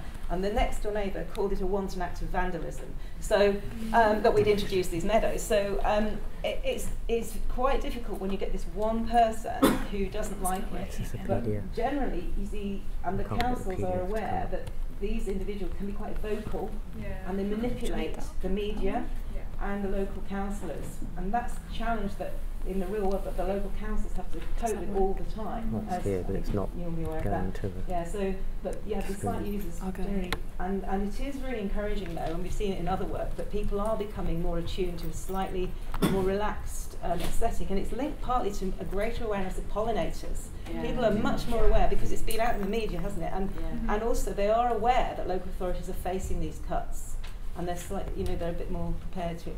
So yeah, thanks. Have you got a PowerPoint?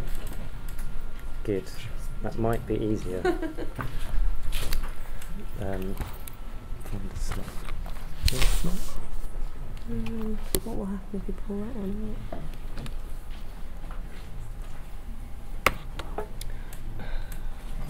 Sorry, Pull I've made a problem. It's alright. I'll get it working. Stick it in. Stick it in that one there. So we have a slight technical delay due to um, Jill's initial presentation being a PDF, which this computer doesn't seem to like. Right, I'm hoping this is the right one. Uh, yeah. So now we should be able to do F5. There we go. Brilliant. There we go, okay. So finally, uh, we have. Um, so it's okay. The PDF wouldn't load up, but Jill brought a PowerPoint, so we're good to go. Are you happy to use your PowerPoint? yeah, it's fine. Okay. Oh. Yeah. So Glad I could help. um, so finally, we have uh, Jill Edmondson who's going to tell us about uh, optimising local food and fuel production. Okay, so Martin's given the title, but really what I'm going to be looking at is the potential within urban green space to improve sustainability and resilience of our urban green spaces. And obviously, I'm at the end of an urban ecology session, so I don't need to go into a lot of detail. But what I did want to highlight was that in the UK, we have a massive urban land resource. So there's more than 20,000 square kilometres of urban land, and about 50% of that probably in the UK is green space. And we have quite good knowledge now about, you know, and there's really a lot of exciting work going on about ecosystem service provision within our urban green spaces, and we're starting to demonstrate how important they are in terms of, you know, sort of the regulating services and particularly the cultural services that people get from the green spaces. But what we don't have as, as, as good a data about is actually how these support green spaces in urban areas can actually support provisioning services. And the two services that I'm going to talk about today, particularly, are own grown food production and short rotation coppice biofuel production. And the reason that I'm going to focus on these two um, services And firstly, own growing has been recognised and is widely talked about by policymakers and scientists and within the media as key to local food security, healthy diets, and well-being. But there really isn't a lot of data to support these kind of statements that, that go on. Um, in addition to that, in terms of biofuel production, the UK government targets require that 15% of all our energy production should come from renewable sources. And short rotation coppice biofuel production has been identified as key to as a key supplier, as a key source for that renewable energy. Uh, but Natural England and DEFRA guidelines focused almost exclusively on the use of agricultural land, so then you get a, a food fuel conflict going on. And so at the moment, there haven't really been any systematic assessments of how um, urban green space could actually contribute to food or biofuel production at a citywide or at a national scale. So the key research questions we're going to talk about today are firstly, how does own grown food production in allotments, and I'm focusing exclusively here on allotments because they're the kind of main areas of food production, the large areas of food production in our cities and towns. So how do they contribute to food security at a citywide scale? And then also how much urban green space is actually suitable um, for short rotation coppice biofuel production at a citywide scale. So I'm going to be using the city of Leicester as my case study area. So it's, it's just over 70 square kilometres and it's, it's 56% green space. 18% of that is a domestic is domestic gardens and 39% of that land is non-domestic green space. Allotments are a really small component of that green space. They're less than 1.5%. But in terms of provision nationally, Leicester's really up there as one of the top um, as, as one of the top sort of providers per head of population for allotments in the UK. So the first bit of work I'm going to talk to you about was actually uh, done by Nicola McHugh with me, um, and it's looking at short rotation coppice biofuel production within the city. She used GIS modelling approach and applied the spatial restriction criteria of the UK Energy Crop Scheme guidance um, to the urban green space within Leicester, um, and then estimated short rotation coppice yields from published data. And what we found was that actually, although generally urban green space is assumed really not that suitable for short rotation coppice, 8% of the city actually fit that restriction criteria. And that, to put into context, could supply energy to more than 1,500 homes or 30 municipal buildings. So that just uh, the dark green areas are the patches that are suitable. So the green, the, the pale green is just normal green space. Um, so things like got, uh, large parks and um, golf courses were excluded. Um, the dark green areas are actually the short rotation coppice suitable areas. So then moving on, um, I looked at potential uh, at, at food production at a citywide scale currently um, within allotments. Um, first of all, I needed to collect, I, I wanted to scale up and estimate what was being produced. So I needed yield data. So I ran a citizen science project called Measure Your Harvest, which I've actually got funding to run next year. So if anyone's an own grower, um, hopefully it, uh, there'll be a website available fairly soon for people to submit data to. to. So I collected yield data, so kilograms per square metre of typical staple, staple UK fruit and vegetable crops. And then I also worked um, with Leicester City Council and went into um, 16 allotment sites and took detailed plot maps of what people were actually growing in the summer at peak production. We also surveyed the uh, allotments at a citywide scale using Google Earth to look at levels of cultivation and plot usage. So there's 97 hectares of land uh, assigned to allotments in Leicester, um, and at the time of the survey, 13% of the allotment plots were completely unused. So um, they were completely uncultivated, and a further 18% of allotment land of that 97 hectares was used for other features on allotments, so uh, society huts and roads. So, quite unsurprisingly, really, what we found was that nearly 20% of all cultivation was for spuds. Uh, these are the top 25. There were about 70 different crops grown in this plots um, surveyed, 64 plots surveyed, but you know what people grew in Leicester seemed to be typical. You know, spuds, onions, strawberries, beans. Uh, yeah, and then this is this is my harvest yield. So what we, the, the red line across the middle is uh, the UK cereal crop yield. Uh, it, it, would be too complicated to show here the different horticultural equivalents yields that people were getting. But what, what was clear from the my harvest yields was that people were achieving a similar yield, if not more, to what commercial horticulture were, were achieving. So anyway, those data enabled us to get a first estimate of what's being grown um, at a citywide scale in allotments. Um, and there's more than 1,500 tonnes of fruit, fruit and veg produced um, and, and potatoes produced at current levels of cultivation. And that could be increased if, if the extra 13% of the city uh, of the city's allotments were used. Uh, another 250 tonnes could be produced. Those figures aren't that meaningful. So what's more informative is if you convert it to your five-a-day diet. So that's 400 grams of fresh fruit and veg per person per day. We're split here. The green bars are the fruit and veg. Potatoes are brown. So on average in the UK, we eat 37 kilograms each of potatoes per year. So um, at current levels of cultivation on the plots, they were feeding more than 8,500 people on their five-a-day diet. If they were fully cultivated, that's an extra 1,000 people added on to being fed. So just to put that into further context, the allotments cover less than 1.5% of the city, but they, they are feeding presently more than 3% of the population, or about 3% of the population on their five-a-day diet. But the spatial restriction criteria that you apply um, for short rotation coppice production in areas um, of other green space, so I should have said the, um, ex excluded from this uh, suitability for short rotation coppice was allotment land. So that extra 8% assigned um, that, that could be used for short rotation coppice could actually, um, using the data that we got from the measurements um, on allotments, feed 18% of the city on their five-day diet. So it really shows that there is potential to make a big contribution um, to local food security. But underpinning production uh, within a city is the soil quality. And we've done work in the past that's really demonstrated that urban soils are of really good quality in terms of organic matter.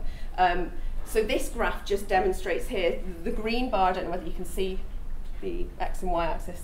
The green bar is urban allotment soil carbon storage.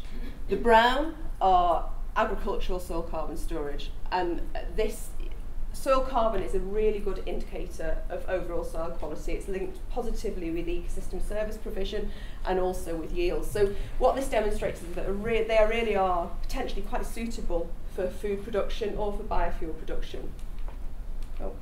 But a complicating factor in an urban area is proximity to industry, roads, domestic heating. Um, and so really there is potentially a risk to human health associated with own growing, particularly associated with heavy metals. They're emitted as a particulate and deposited onto the soil. And current um, contaminated, contaminated land exposure models provide soil guideline values based on concentrations of heavy metal present within the soil. Emitted with heavy metals is black carbon. Um, now, that's interesting for two reasons. Firstly, it's, it's a particulate that's um, the product of the incomplete combustion of fossil fuels and biomass, and it's a very stable store of carbon in the soil, but it's also been very strongly linked to um, reducing the bioavailability of heavy metals to food crops. So I'm really interested in it for that reason. Um, and at this point, I really hope to have some data to show you um, uh, the relationship between heavy metals and black carbon in urban soils in Leicester, but I don't have that data yet, so hopefully next year. but what I can show you is that urban soils do contain really large amounts of black carbon. So the, the green bar here is soil organic carbon, and the grey bar on top is black carbon. This is in the northeast of England, not in Leicester. But I'd expect that there's a fairly strong relationship between heavy metal concentration and black carbon. And what I really want to know is how black carbon affects the bioavailability of heavy metals to own grown food crops. And so that brings me on to a national project that I've started now, um, which is going to combine GIS data, field soil sampling, lab analysis, and bioassays. So I'll be looking at the range of heavy metals present in um, urban soils across the UK uh, and the relationship with black carbon and then run bioassays with typical staple UK fruit and vegetable crops to look at the effect of black carbon concentration in soil and heavy metal uptake. I'll also, as I said earlier, be running the citizen science um, project over the 2017 growing season, collecting data on own grown from people across the UK. So if anyone does own grown, it would be great if you wanted to participate. And what the key research questions that I'm aiming to I, I answer within this project over the next few years is how does own growing contribute to food security nationally in the UK and is there potential to increase that? What's the potential for short rotation coppice biofuel production at a national scale in UK urban green space? How do heavy metals in urban soil limit the amount of land that is actually available for food production and could that land then be suitable for biofuel, produ biofuel production if unsuitable for um, food production? And how can urban food and fuel production relieve pressure on high quality agricultural land, particularly for cereal crop production?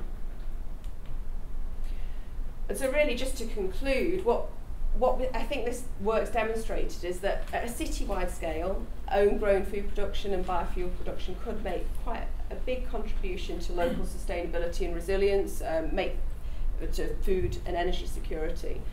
But really, the urban soil properties are what what underpin the ability of these green spaces to support the services, and so that's why all this research that I'm planning and, and, and doing at the moment into heavy metal quality, heavy metal and black carbon is really important. And looking at this at a national scale will hopefully give us a picture of how important our green spaces are across the UK. And yeah, these are the people I'd like to acknowledge. So it's funded by EPSRC.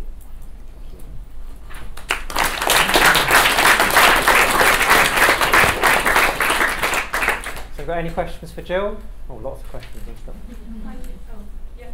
Hi, Jill. Thanks very much. That's really fascinating. Um, I have a question about trade-offs. Yeah. So, if land is converted from coppicing or what's called unproductive allotment land is growing crops, what are we losing? So, what what areas are those coppicing going into? And because um, unmanaged allotment plots might not be good for food growing, but it might be good for biodiversity.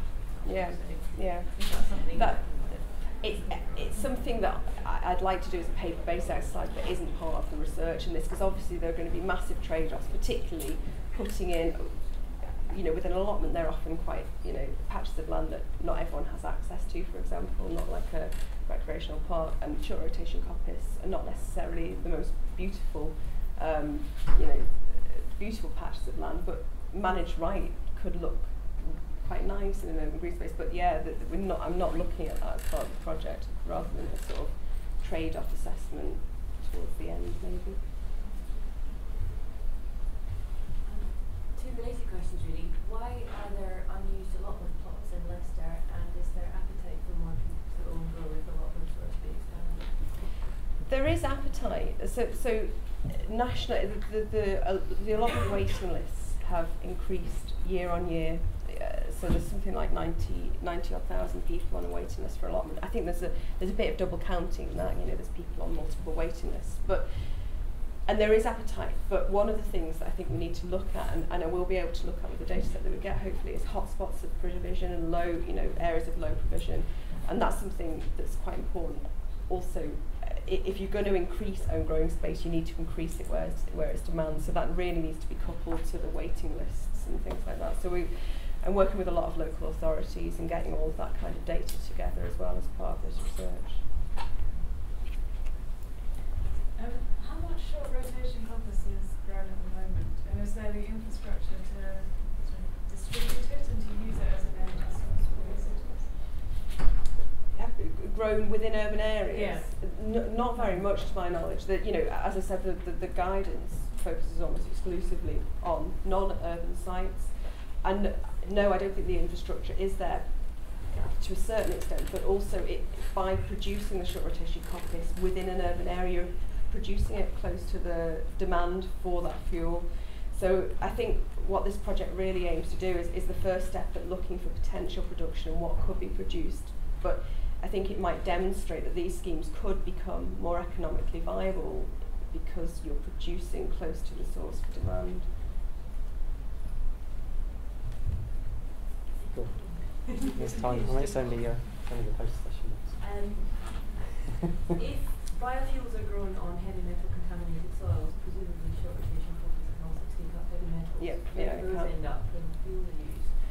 So I think uh, you can use special filters when you use that, that short rotation coppice. So one of the interesting, one of the things that I think is quite interesting is there there could be potential to use short rotation coppice almost to remediate land to make it then, vi- you know, over the course of a 30 year cycle of short rotation coppice, to then make it potentially viable for food production further down the line. So yeah. Okay, brilliant. So, um, give you another round of applause.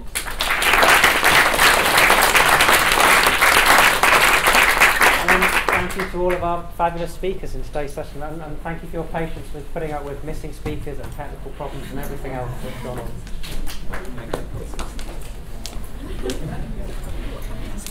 How are you, Martin? I'm okay. You? Yeah, I'm alright. Pretty knackered, but uh, Sounds like an exciting project, though. yeah, should be if I don't fail epically at it. Why would you fail epically? I don't know. But so you're kind of rolling that kind of stuff out nationally, is that the idea? Yeah, basically. So I, I kind of hope to have some of the soil data to Yeah. show here as well, Yeah. based on the Leicester, it's all the massive Yeah. archive of soils we've got. But yeah, that's the plan. So I've got a five-year fellowship. Five years. That's pretty good, though. Still based Sheffield. Yeah, yeah. Probably a massive error actually, because Right. well, I, you know, I, I don't think anyone views me as any different to a postdoc. It's your own money, this though. Oh yeah, it's a, it's a five-year. But I've got a postdoc on it and all kinds of Oh, really? Yeah, so it's, it's quite nice. Yeah. It's quite exciting, but I think I just need to just- I basically came back on maternity leave and Yeah. started this straight away, and it was just a bit much to So how far into it are you now? So not far. I'm hoping to Five years, still, that's really good. Yeah, it'll be nice. Yeah, hopefully I'll Will manage they to give you a proper job at the end of it? I don't know. I, I think I'll, do, I'll have to just get